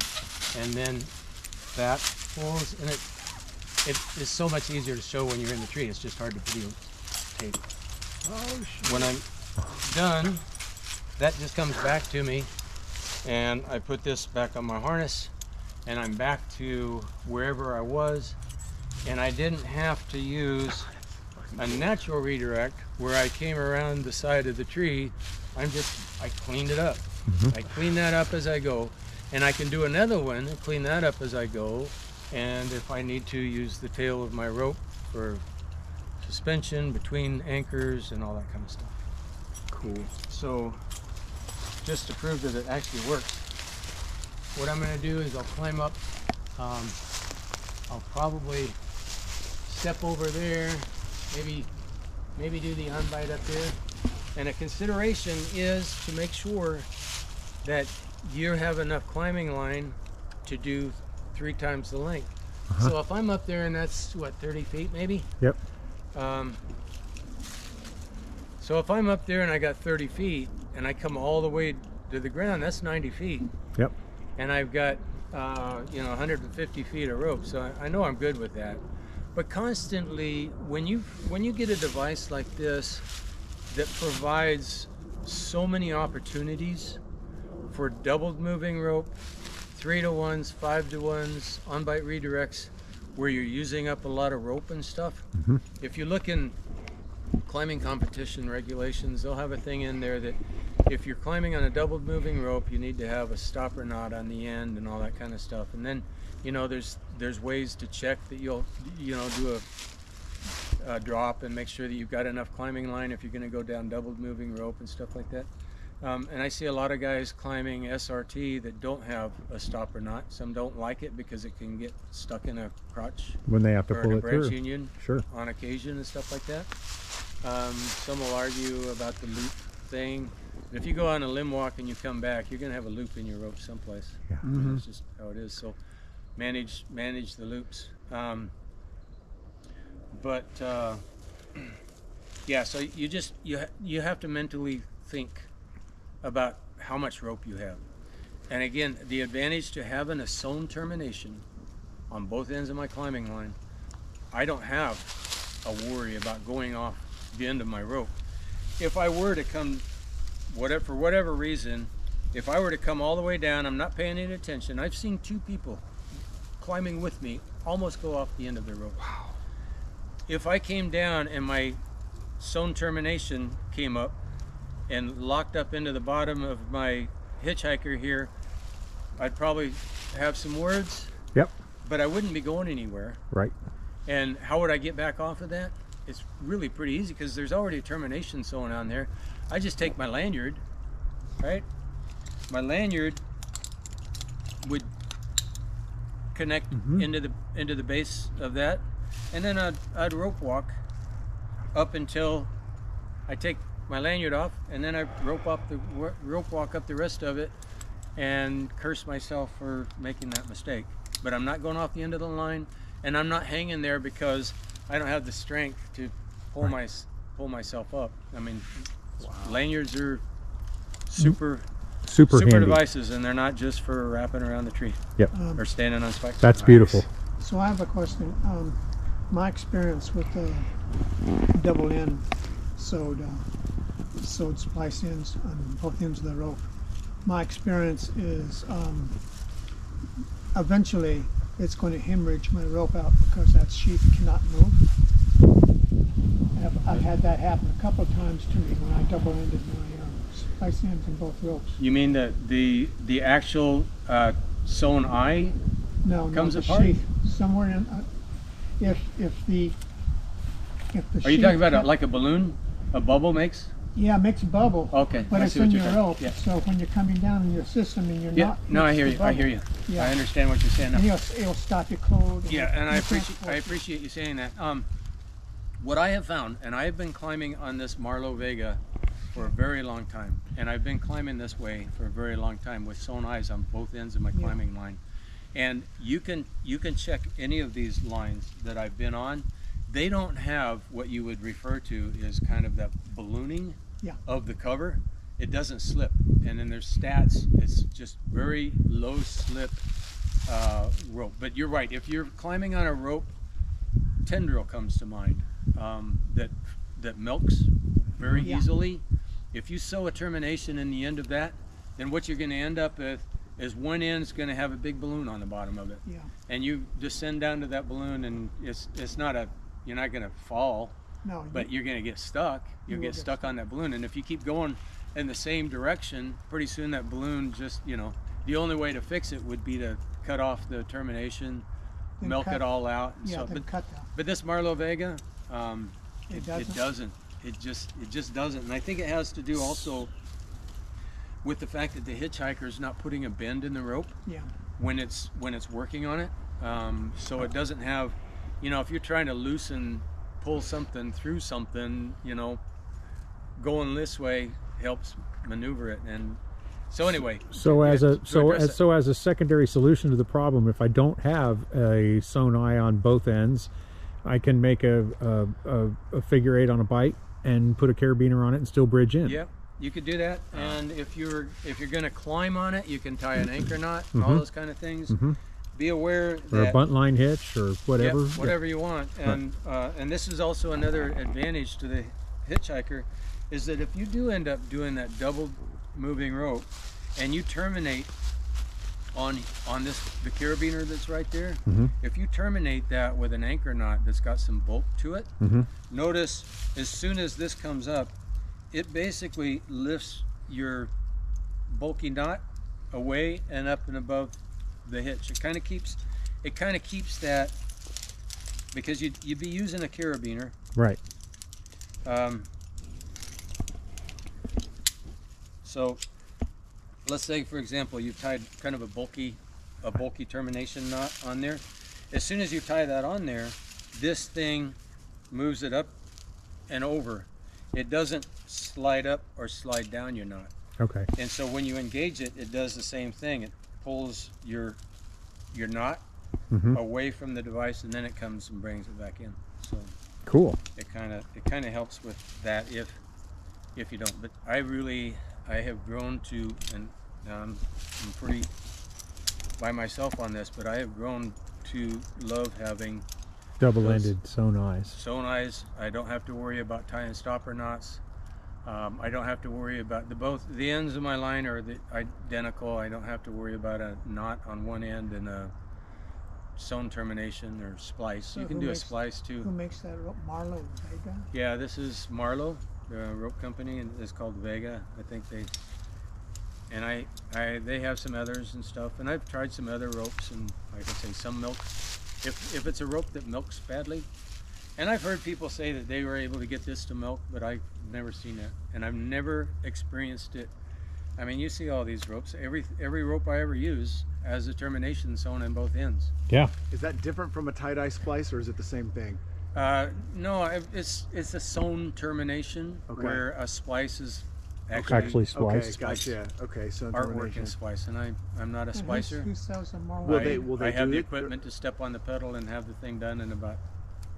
Yeah. You order it, do they do it, or is that something you've been doing here? And when you just order Uh, the you know. I do. I can do the terminations. Okay. Yeah, the sewn terminations. Okay. Who sells the Marlow Vega?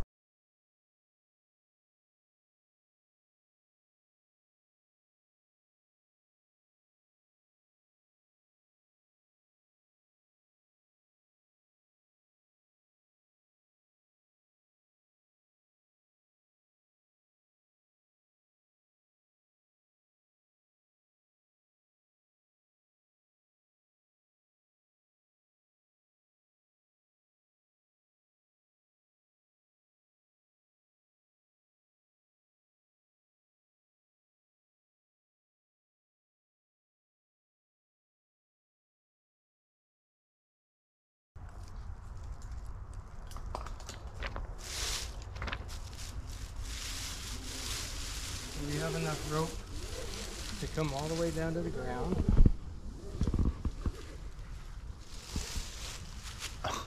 Made it. I got a, a little busy up there with the doubled moving rope Mm-hmm. being in the way and everything sometimes. If that's not there, easier. So to do that technique, you need two hitchhikers? No, the the two hitchhikers was just for the doubled moving rope Okay, part where we were sharing that. okay. Uh, for the on-bite redirect, um, no, you just one line. It's kind of a just a an SRT technique. Okay. It just made it easier for him to come down to his redirect point. Yeah, if I was doing that, so I don't have to pull. You know, you could have a base anchor and pull through a few of those.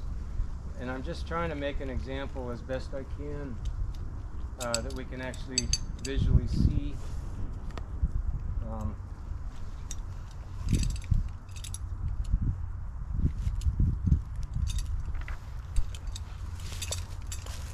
Now, so that's going to go up. give me my quickie back. Bam, ta-da. Voila. And there's there's my quickie back. Yep. And now it's just a matter of retrieving My the rest system. of my climbing line. That's So you know, not a really great example of where I would use it. Um, a little bit uh, cluttered, I would say.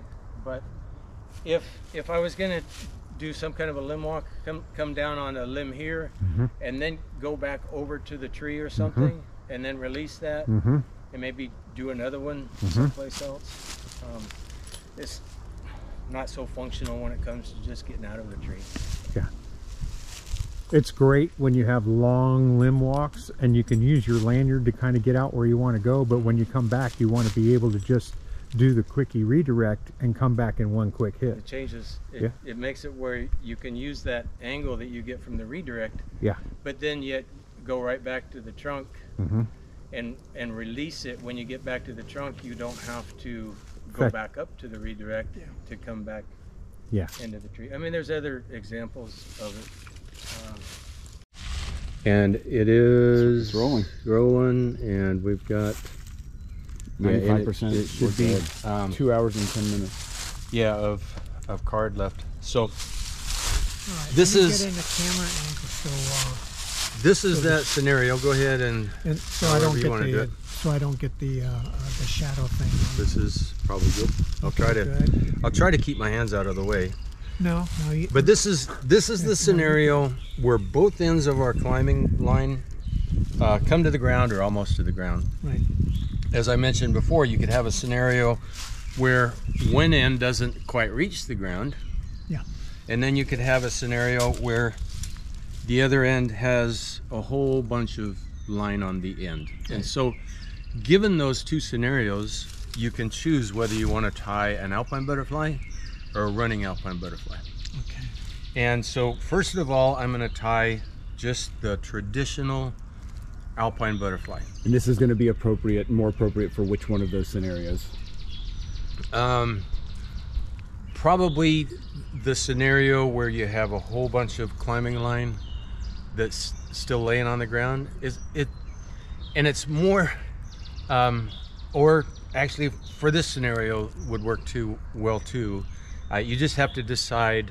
Remember that in our discussion we talked about what the anchor point is. Yeah. Maybe we didn't, but an anchor on your climbing line is where the tension of the load terminates. Okay, right.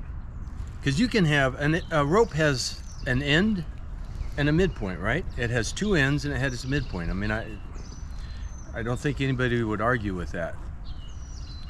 And I've talked about how the ends are the most versatile part of the line, but most people set their anchor point at a midpoint in the line Okay.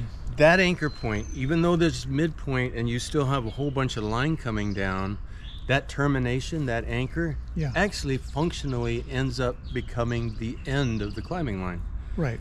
And it's identified by being the end because that's where the load That's where the load is going to terminate. After that, if this was 10 miles long, would it make any difference? no. Other than the fact you got to handle that. For the load, it doesn't make any difference. Right. So the termination of the load um, or the, the force to sustain that load is where the I would call the anchor or the termination of the end of the line. In this case, we have both potential ends right here. If I were to tie a mid alpine butterfly Yeah. and then call that my anchor and send that up to be where the tree is, the rest of this will be retrieval line, but the actual anchor of our clamming line is where that alpine butterfly. It is where that load terminates. Sure. Right? Okay, so um, tying an alpine butterfly, if you search the internet, you'll probably find about four or five different ways of tying it, at least. And as we talked about before, as long as it's tied, dressed, and set and verified with that parallel and cross sections, Yeah. then you have an alpine butterfly. You can tie an alpine butterfly and have a girth ring on it. Um, you can tie it in a figure eight manner. There's there's just all kinds of ways. Sure. And so if somebody wants to find their own way, that's up to them. Um, so to, for to me, tying an alpine butterfly is basically there's the first loop, the second loop I'll put in the middle. That kind of solves one of those issues. Then after that, I just take this one that was on the side, that just comes through, and there's Around the line and through the hole. yeah, Okay. it goes, it circles back through there, and then I can deti- decide which size of loop I want to have.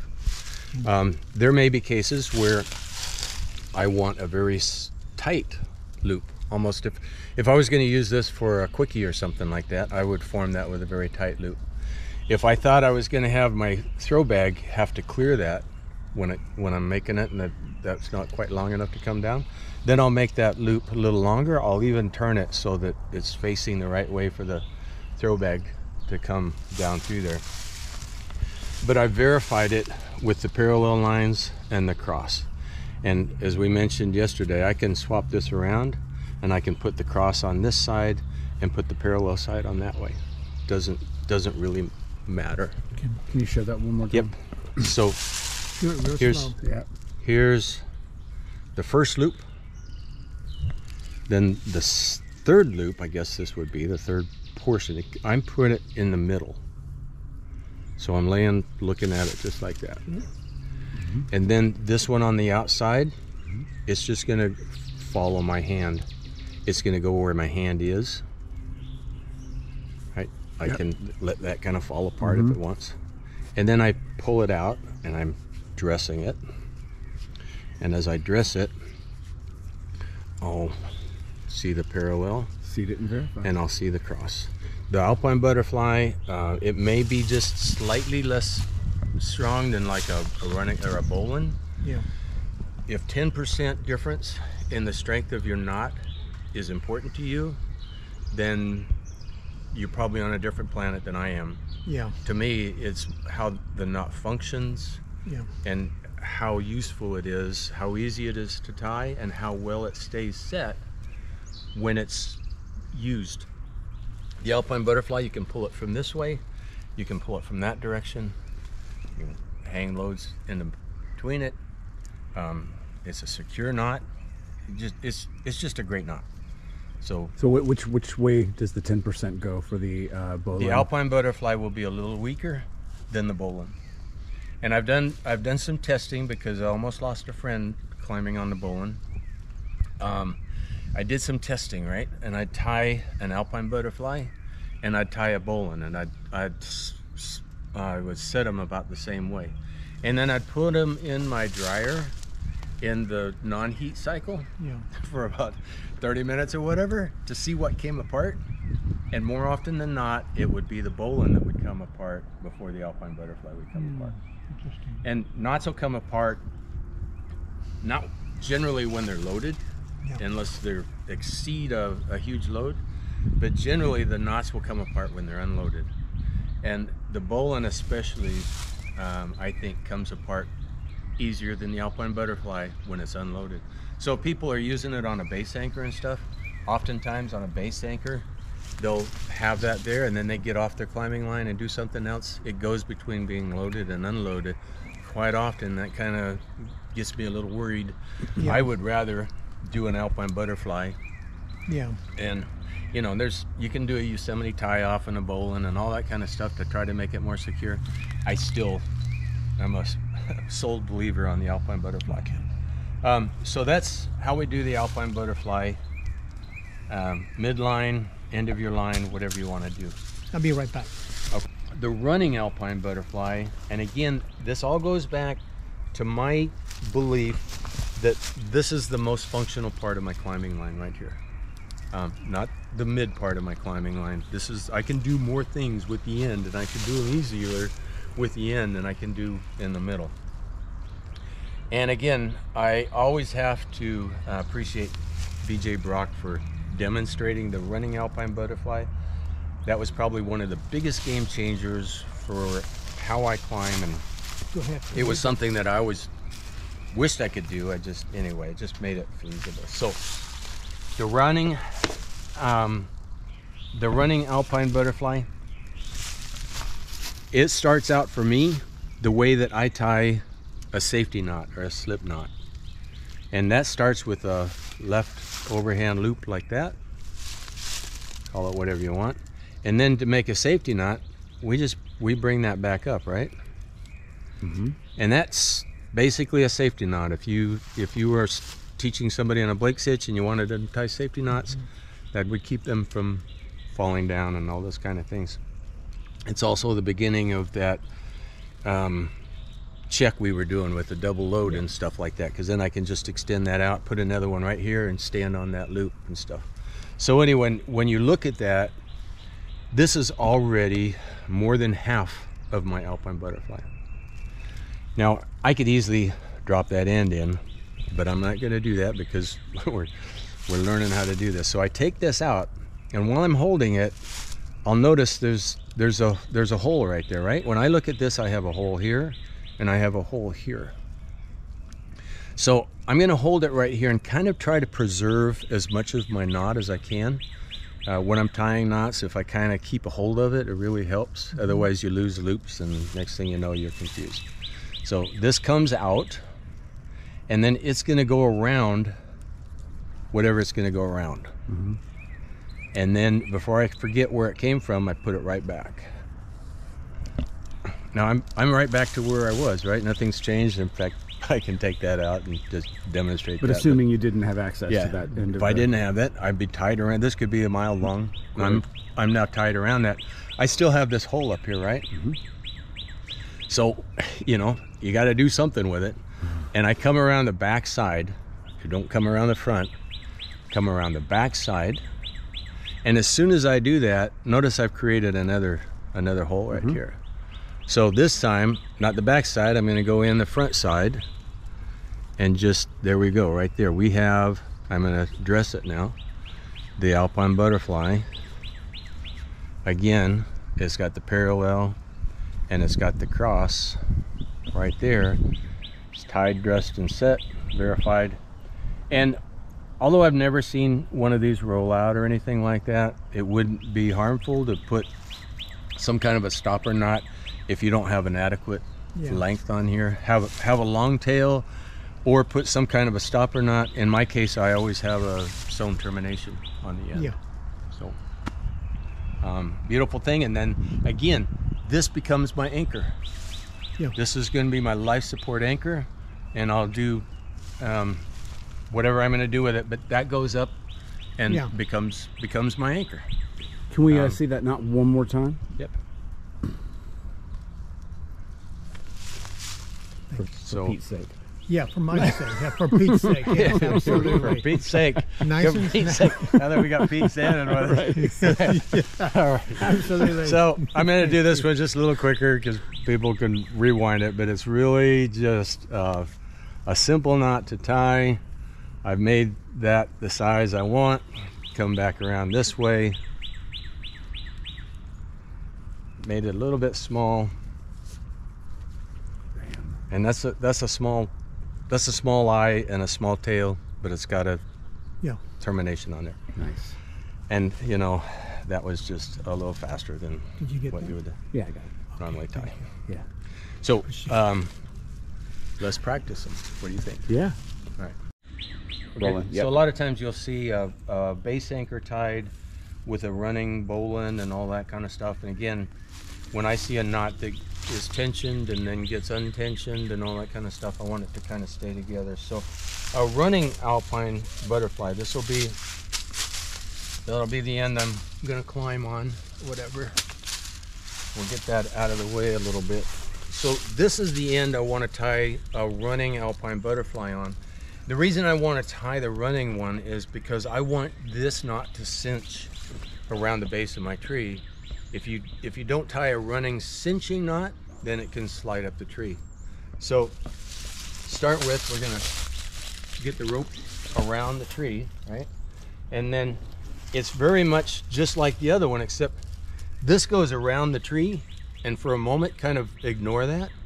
But now I'm just gonna do the same thing right here, right? I do my safety knot, just like that, right? That safety knot comes out, goes back in, and I can play with the size of the loop that I want. This comes back up, and I've created that, comes back in, and there is a base anchor that I can um, pull. I'll pull down on the climbing end and get this where it's cinched down onto the onto the base of the tree. So that's a running alpine butterfly for the base anchor. Um, again, if if it didn't have this termination on it, or if it didn't have a really long tail, you can put a figure eight on here. You can put a stop, any anything you want to put on there for a, for a stop or not. Um, you can even run it back and do a and whatever. But that's the running alpine butterfly for a base anchor. Now you can also, it gets a little more convoluted, and we'll save that for later. If, um, for example, you want to tie this on a bite, I'll take this apart. Um, if you want to tie this on a bite, in other words, you have a whole bunch of line laying here. Uh, sometimes you'll see this in uh, competition where they're trying to do an aerial rescue and the line is preset for the competitor and stuff. And I don't really have, Sorry, so you mean a bite in a sense of the tail end or the running end that's going to go around there? You don't you don't want to take a hundred Yeah, foot of rope so- and try to. right, exactly. You don't want to have, you don't have this tail to work with. If you don't have that tail to work with, maybe I can, give me a little more rope here, Maybe I can pretend, maybe I can pretend that I have all of this, maybe this is another 50 feet of rope, right? And I don't have that tail to pull through there. Now I can just take a bite right there. And with that bite, I can do the same thing, right? It's still, it's still turning in to that same safety knot. It's just a bite of rope. And I take that bite Ah, the two I come- become become one. the two Ah, becomes one It's literally no different so again that goes in where i before i forget this comes that loop is that Mm-hmm. little loop is still there i'm getting kind of short that was No, but the- my no, lack the of planning idea- and lack of rope the idea is clear. yeah. So that tail, that comes back through, and poor example, but that comes back through and becomes, and, it, and the same thing, I'll tie dress and set this a little bit, but I'll have the parallel, I've got two parallel.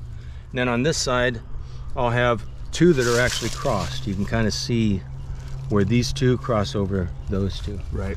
And if, if I really wanted to make this work, what I would do is I'd take a carabiner or something and I would just Lock that. lock in. that off right there. And now I have a running alpine butterfly on a bite, and theoretically I could have another hundred feet of climbing line laying over there, uh, and and pull my line up. So Rolling. so this is the swivel eye. It's got a captive eye, stays in place. I don't worry about flop as much. But being my secondary system, it does have a carabiner on it, carabiner action, auto locking. And you always want to check these and make sure that it self closes. And I don't know how many inspections we've done at climbing comps that these won't automatically close. So just make sure that that's something that you have to keep track of when you're climbing on anything that's got a lock on it. Same thing with the regular carabiner. When we do an inspection, you're gonna do that slowly and make sure that you can't get it where it stays open. What's your opinion on the click test after you let it go, just to to do a non? Just do it, do it really slow and see if you can get it to not close. okay. If it, if it, whatever you do to it, it automatically closes, then you're gonna be good. Because remember, this is flopping around in the tree a lot. And, and sometimes guys will take these and they're setting a new anchor or they're throwing their, their lanyard and stuff. If that's what you have on the other end of your lanyard. Take my dog bone, it goes through this way and I try to have the eye, if I can see through the hole of that eye, that really works out best for me. My hitch cord goes on the other side of my climbing line, makes that first loop. Because I have that safety knot there, I can pull down and make everything snug. And then I start doing my wraps and I hold them with my thumb. So there's one, two, three, four, five. Five is comfortable for me, but I'll always check it. The tail goes through that. And because I had it lined up, it misses that pin, makes it makes it a little easier and comfortable. Then I tie my stevedore knot. I'm holding that eye with my thumb. I go once and I use my middle finger to piss people off or to help tie my knot. and then I bring that up through the eye of the stevedore. And now I take out the safety knot and I'm gonna give it a hang and make sure it works. And it's like, okay, I'm setting, uh, setting the hitch. That's feeling pretty good. How does it tend? It tends pretty good. I'm liking that. So now I'm ready to start getting on rope. So you How's- have a, your, your bridge is shorter, that's why you're sit, when you sit back on yours, I mean, I, you're a yeah. little more eye level than mine is. Yeah, my hitch is right. Yeah, my hitch is right in front of my eyes. Yep. This is kind of right in front of my eyes. And this whole area that is really important to me Uh-huh. is pretty clear. The only thing I have is my tending, and that's not even in the way right now. When I bring it up, I'll attach it to the anchor point right there. Right. So So that goes up and that snugs up. And now everything's kind of nice and tight. Plus, when I sit back, it makes me very comfortable. I can sit here and watch and You have I, I'm Sure. just trying to figure out why my bridge is physically shorter than yours, and yet my tie-in is still above my eye level. Because your bridge, your bridge is. that's because your harness is giving you a wedgie. Is it? No, I don't know. it's, it's got, it's got, yeah, yeah. um, Also, his saddle is around his waist. It looks Yeah. like your saddle's around your ribs. yeah, it, it's what your saddle is riding higher. That's what it is, is your foot loops Uh-huh. uh, are longer than mine are. Yes, I made them longer. Yeah, I well, there you go. There's your that. answer. All right. You did it. So if I shorten them, that'll solve that problem. I'm- Well, either that or create the problem. I'm not sure. Yeah, Wiley and I hung it up on his hook in the garage when I first got it because I was not comfortable. It was really aggravating, to be honest with you. So there I've kind of set everything and I'm liking it. Now that my next step is to put my knee ascender on.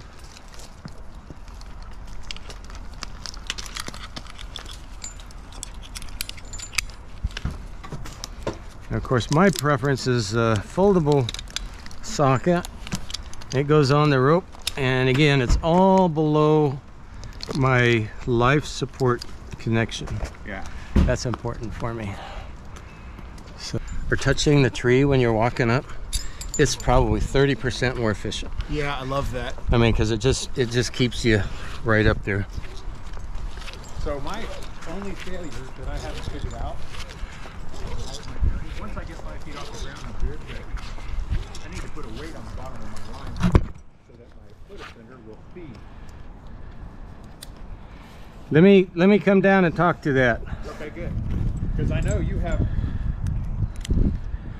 There we go. Now.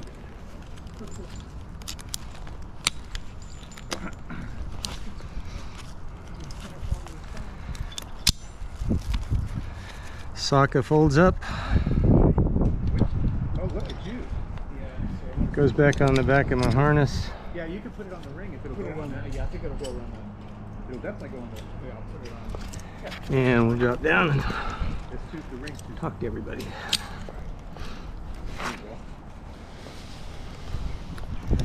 Notice again how smooth that is. And That's just it's not I have I don't have to bang on this to release it. I just give it a tweak. Hold securely. You happy? All right. So we're talking about putting a weight No. Yeah, on your line. right. Um, Correct. Thanks, Pete. let me make the point Okay. about that. And this is, will that attach to this ring? Will that It dog? won't. It's too small. Oh, but you know what? I have the carabiner we're not going to use. How about I do that? you could do that. I mean, you could put it there, but it kind of binds up that whole connecting point, Okay. I'll hold it. which is, Hold it. Sure. You recognize this, Richard? huh? Old school? Yeah, that's, you- you're right. Well, it's, it's still a patented design. Yeah. Um, Here, let's do this. Oh yes, one of those. I just need to get like a bag of these. I know, me too. Um, Here. so, Hook them in there. you know, and why don't you take this off? Let's just do this. Oh, it's girth. Yeah, I'll that'll come it right off. Leave it on. Oh, for you? That's mine. Okay. Yeah, that's Um, yeah, what I would do is I'd take that off and I would put a carabiner on there. okay. But it's Well, Peter's, so Peter wants the boat thing on There there. yeah, it'll still work. Um, but yeah, so anyway, you're good to go. Let me just talk a little bit about putting weights on your line and chainsaws and all that kind of stuff because Yeah. people do. Yeah. Um, rope walking is really all about technique. And this ascender needs to go straight up and down the rope, right? Yep. If it's traveling straight up and down the rope, there'll be very little resistance. Yep. And I'm gonna put my foot down there. And I don't have any weights, but I do have a, a couple feet of rope underneath me. But if this is straight up like that, mm-hmm. that rope will just fall through there. Right. And if it's the first foot or two and I only have ounces below it, if I give my foot a little bit of a wiggle, it'll go through there. So the only time I think it's really justified to put a bunch of weights on your line is if you're in a competition and you want that first foot to start out at full speed. Yeah. Otherwise, you're wasting throw bags, chainsaws, and everything else by attaching them to It's the line. It's just that first foot or two that drives it's that first first. Just wiggle your foot a little bit, Yeah. and then you don't have to attach all those bags and everything. Right. Saves saves a lot of effort. But and it's important just to keep your feet side by side and go straight up the rope. There you go. Not a fan of these carabiners. rope is a spinner. Yeah. You might have to tighten that up a little bit. You might have to do it once you stand up. And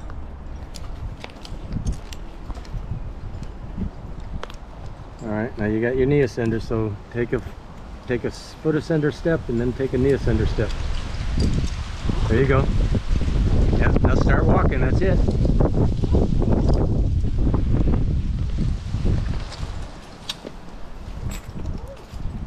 You're doing good, huh, Peter? Yeah.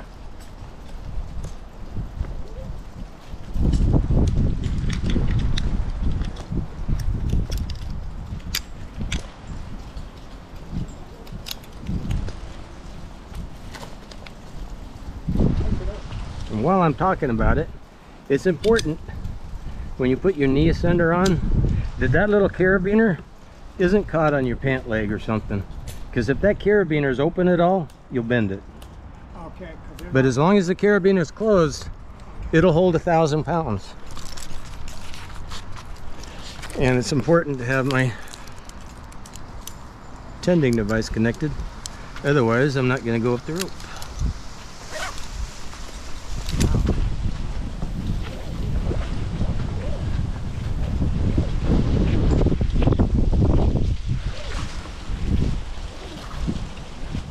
Walking on by. Hey, TJ.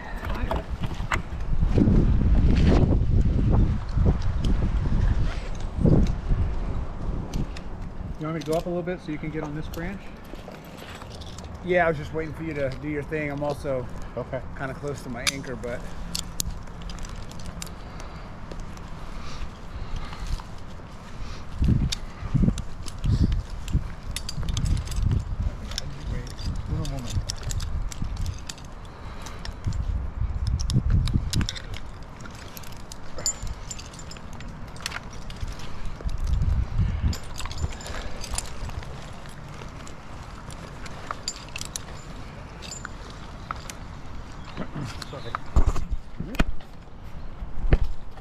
Once I get up on that initial ascent, or if I'm not ascending out midair, when I start getting up here, I will generally just go with my foot ascender because this foot that was my knee ascender is going to start wanting to be on the tree and on the limbs and stuff like that. So if I have tree structure to start standing on, my knee ascender just starts getting in the way.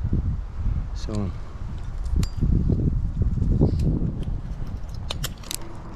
So another great thing I'd say about using a quickie for a cinched anchor like this, I mean, now that I'm standing on something and I'm secure, I can I can just bring my anchor up a little bit more. Oh, I mean, it's, it's almost, uh, assuming the tree will permit that, but um,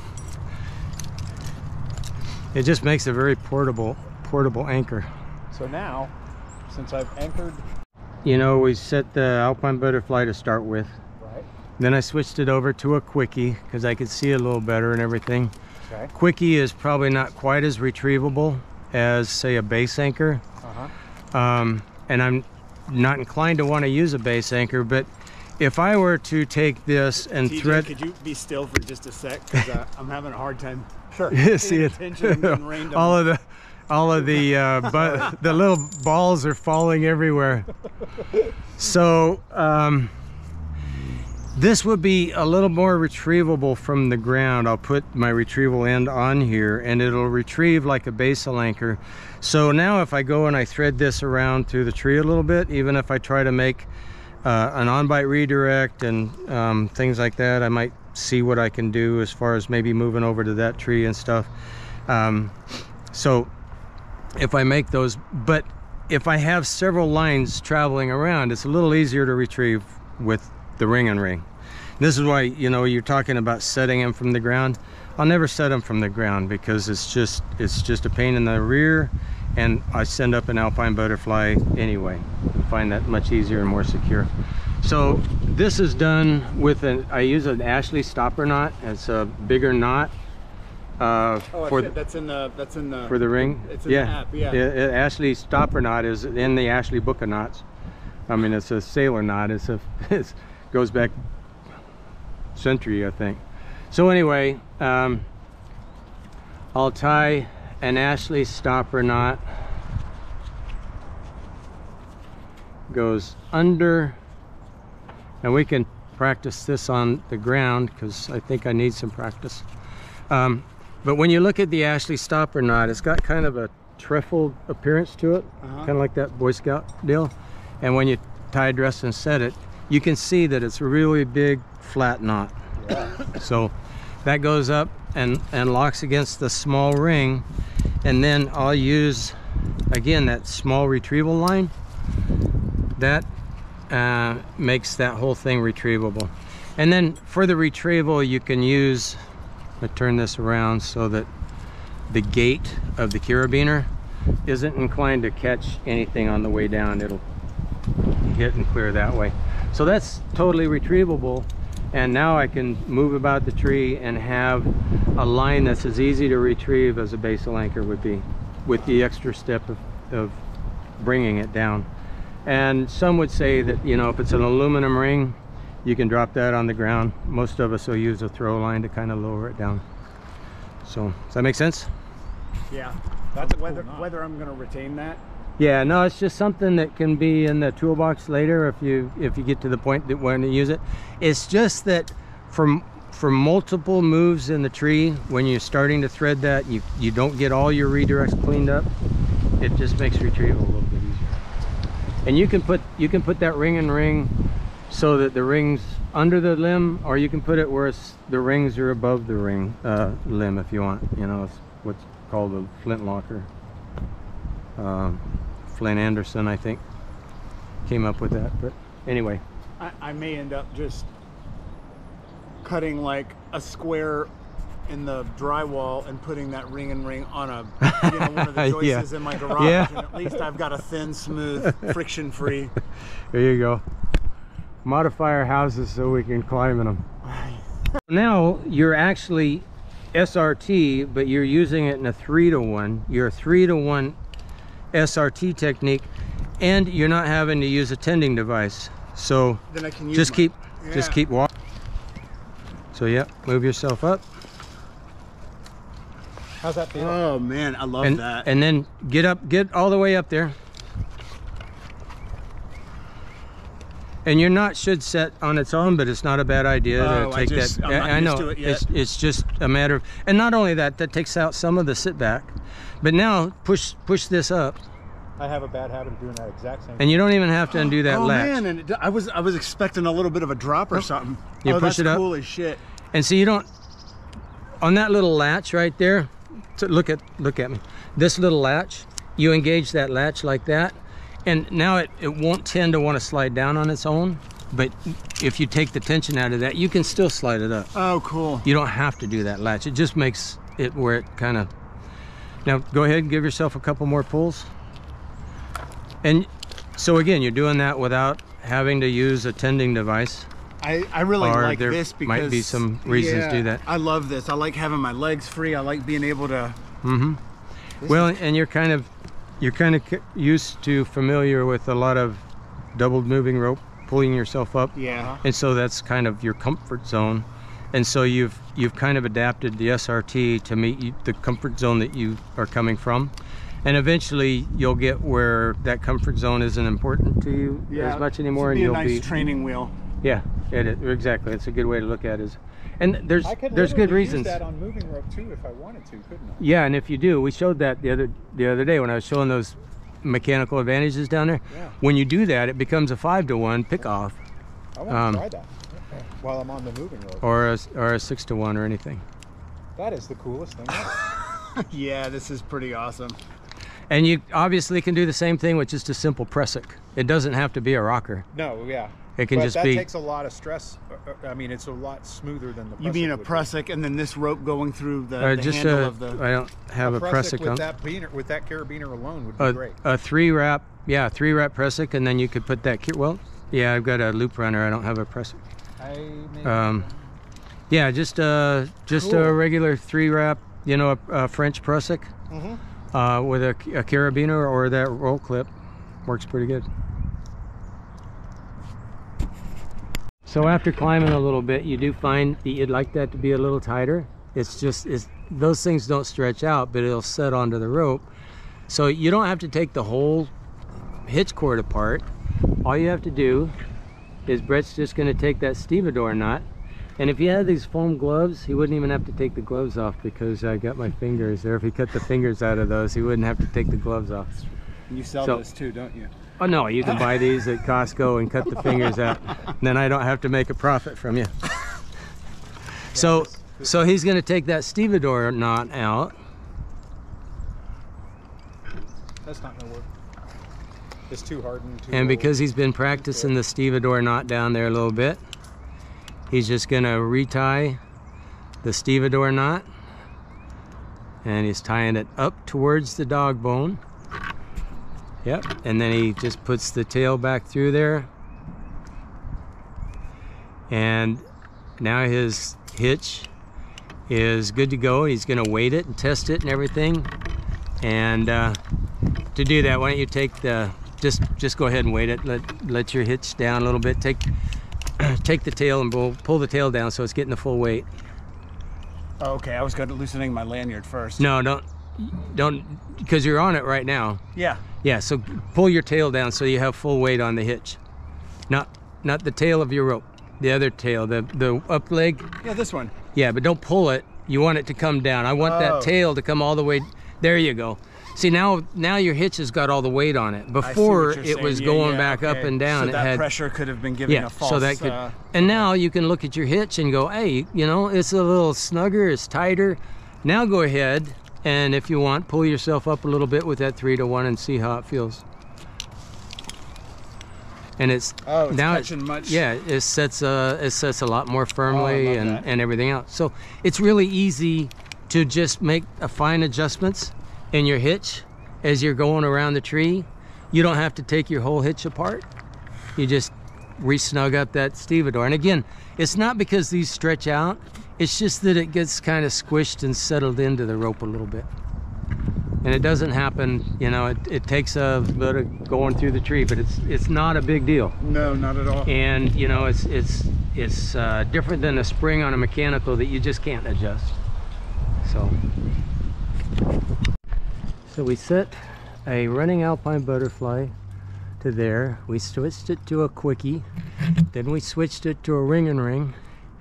And then we did the tail of our line like TJ's doing to a doubled moving rope over there. Got there switched to doubled moving rope here. Now I'm going to go down on top of some construction equipment. And then we're going to go ahead and retrieve our whole line from over there. On this side, of course, the tail of the double moving rope is retrievable. And we'll take this off and then we're going to go ahead and retrieve everything from the third tree over there.